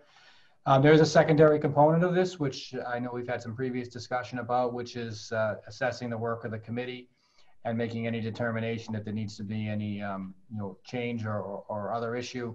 So this would be the opportunity to discuss that. Um, I will tell you, I'm not aware of any such concerns. Um, none of the board members have expressed anything to me individually, but I did, you know, before we advertise this, wanted to make sure I provide that opportunity for the board members. Mr. Gilleberto, on the list of these committees, which is just every committee that we have, are any of those, do, do you have an idea of how many vacancies need to be filled on each of those?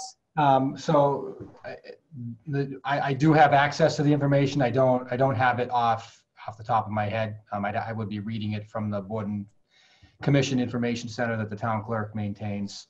Um, this is not all of the committees. These are only the ones for which, uh, uh, there's either a vacancy or a current term that is expiring.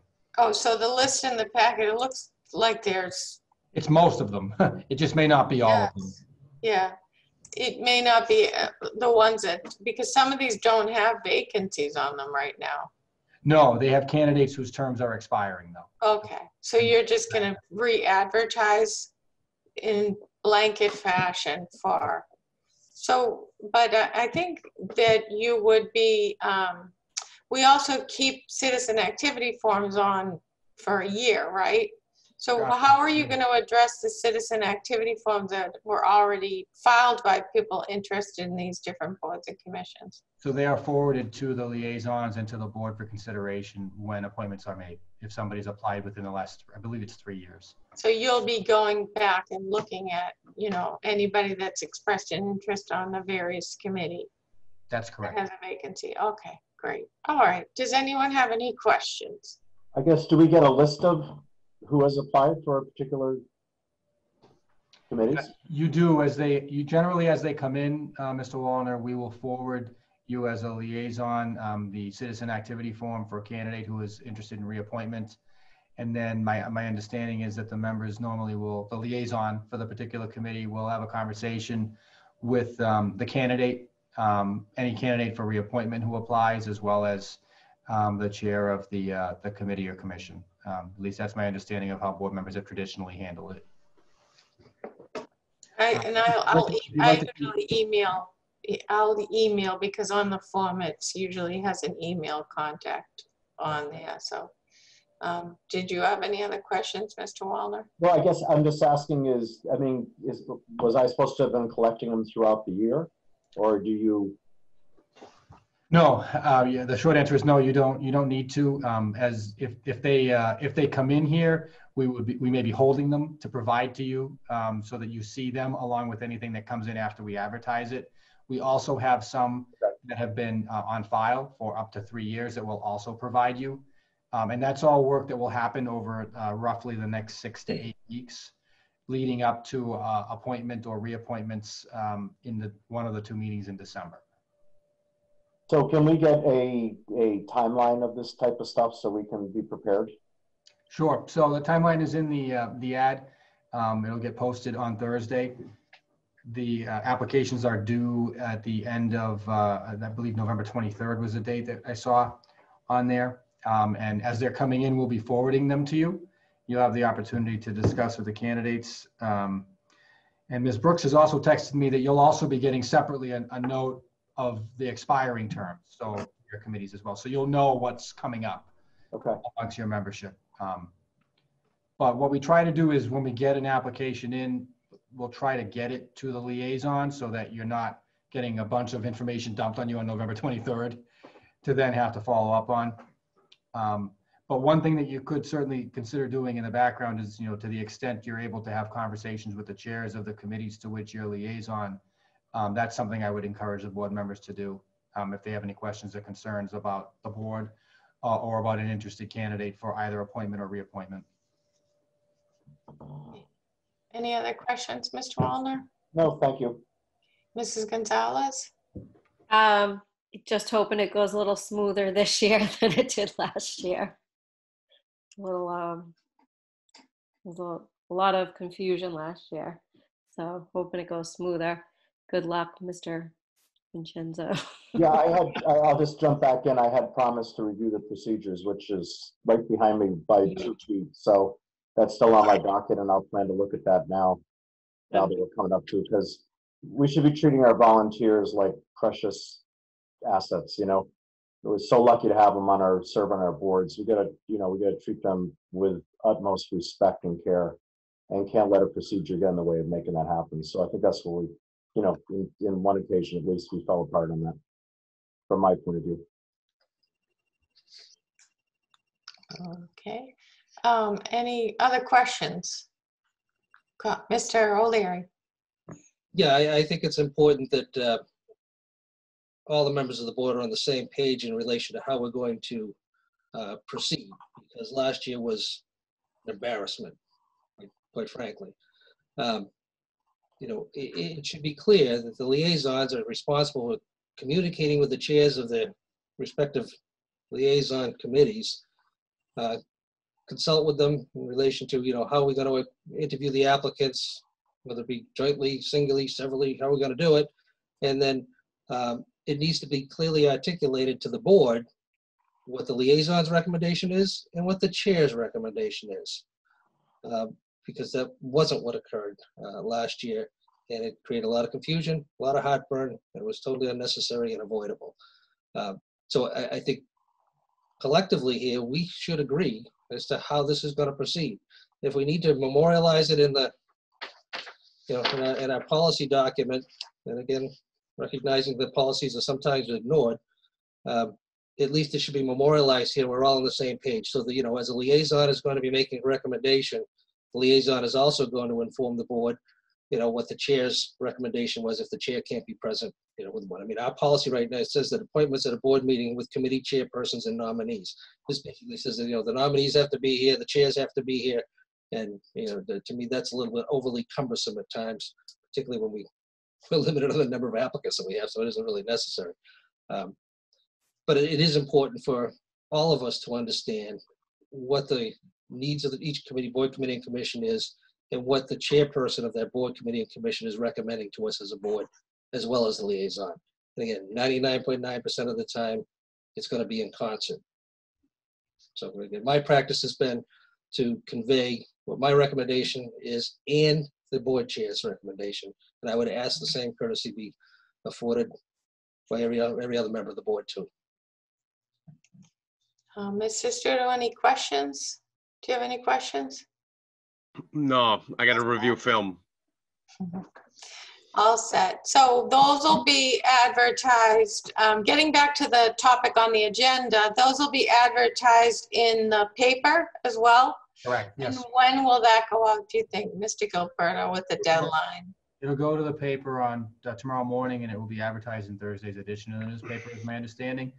And uh, it will also this week uh, go up on the town website and on social media. The board has a policy that it will not make any appointments um, for, um, um, without having a 30-day notice uh, period, um, which we're complying with by doing this. And uh, we generally begin making, um, you know, uh, putting on the agenda the appointments or reappointments in the first meeting in December. Right, and thank you to Jane too, because she's pretty on top of making sure we're on top of getting that squared away. Um, and she gives us, you know, she's, I think she starts out at the beginning of December, reminding us, you know, we have a couple of weeks to get this squared away to reach out to the prospective appointees and reminding us all that this is the appointing authority, so the ultimate decision comes down to the majority of the board on a, a liaison appointment, so. Um, so we'll look forward to seeing that and hopefully look forward to seeing plenty of new volunteers, new faces, new volunteers this round. The, um, next order of business is the approve the legal bills. Mr. Stuto, Yes. we have at least one or two motions on that. Madam Chair, I move to approve legal bills for August 2020 in the amount of 13646 as follows.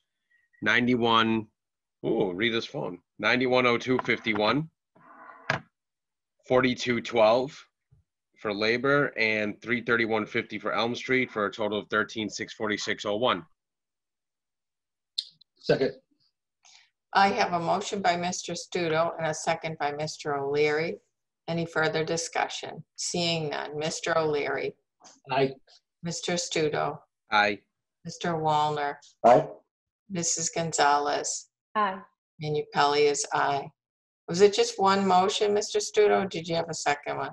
That's That's it. Our Next order of business is minutes, September 21st, 2020, regular and executive session, October 3rd, 2020, regular session, which was our town meeting, our meeting before the town meeting meeting.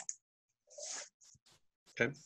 Uh, Madam Chair, I move to approve the September 21st, 2020 regular session meetings as written. Second, Motion by Mr. Stuto, a second by Mr. O'Leary. Any further discussion? Seeing none. Mr. O'Leary, aye. Mr. Stuto, Aye. Mr. Wallner, Aye. Mrs. Gonzalez, Aye. Manupelli is aye. Madam Chair, I move to approve the September 21st, 2020 executive session meeting minutes as written. Second, Motion by Mr. Stuto, seconded by Mr. O'Leary. Any further discussion? Seeing none. Mr. O'Leary, aye. Mr. Stuto, Aye. Mr. Wallner, Aye. Mrs. Gonzalez, Aye. Manu Pelley is aye. And Madam Chair, I move to approve the October 3rd, 2020 regular session minutes as written. Second, Motion by Mr. Stuto, second by Mr. O'Leary. Any further discussion? Seeing none. Mr. O'Leary, well, I- just discussion. It really didn't indicate how well and how smoothly the town meeting went. Other than that, aye. all right. Mr. O'Leary, Mr. Stuto. I abstained. I wasn't, I don't, Oh, that's right. Yeah, we're gonna record you as abstain. Mr. Wallner, Uh, aye. Mrs. Gonzalez, Aye.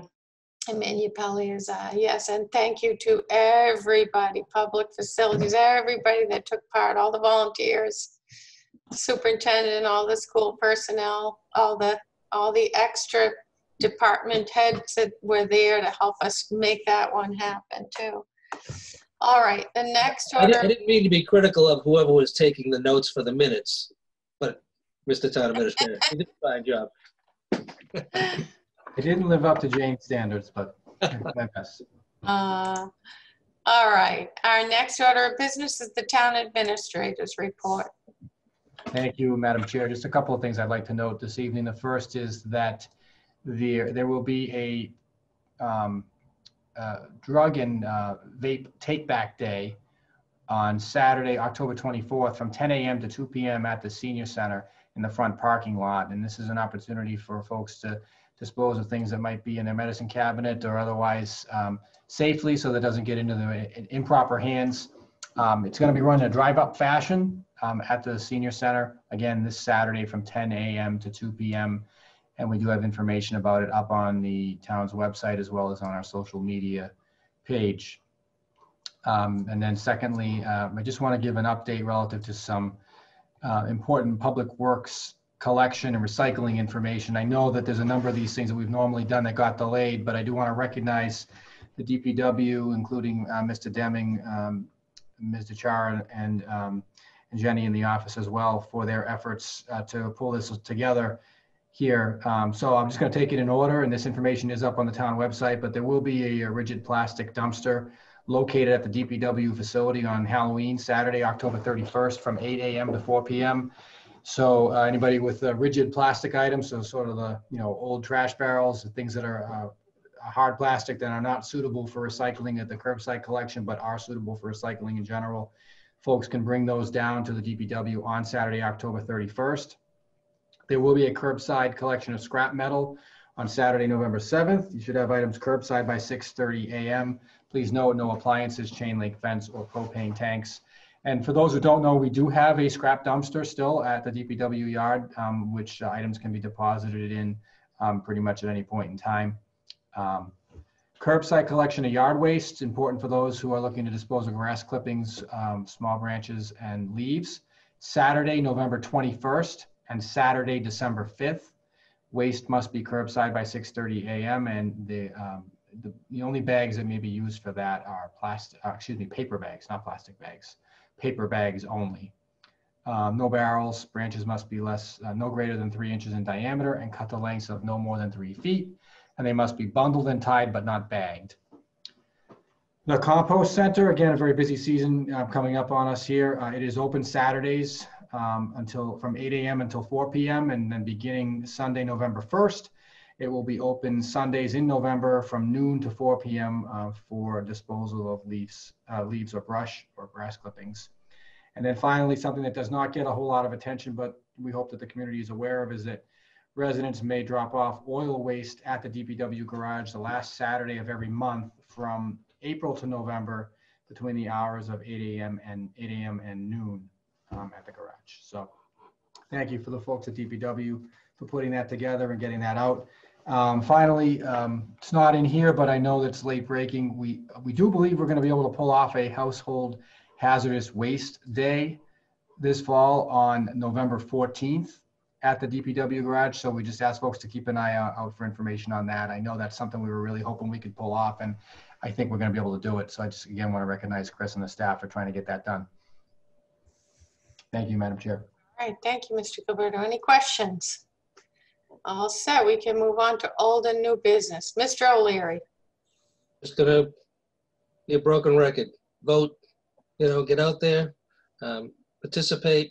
I don't care what side of the the fence you're on or what your persuasion is. You know, this is our opportunity to, to be heard. Uh, the impact is going to be significant. Uh, let's get our frustration levels down and get things uh, resolved and solved and uh, let's move forward. So um, vote by mail, early vote, or vote on election day.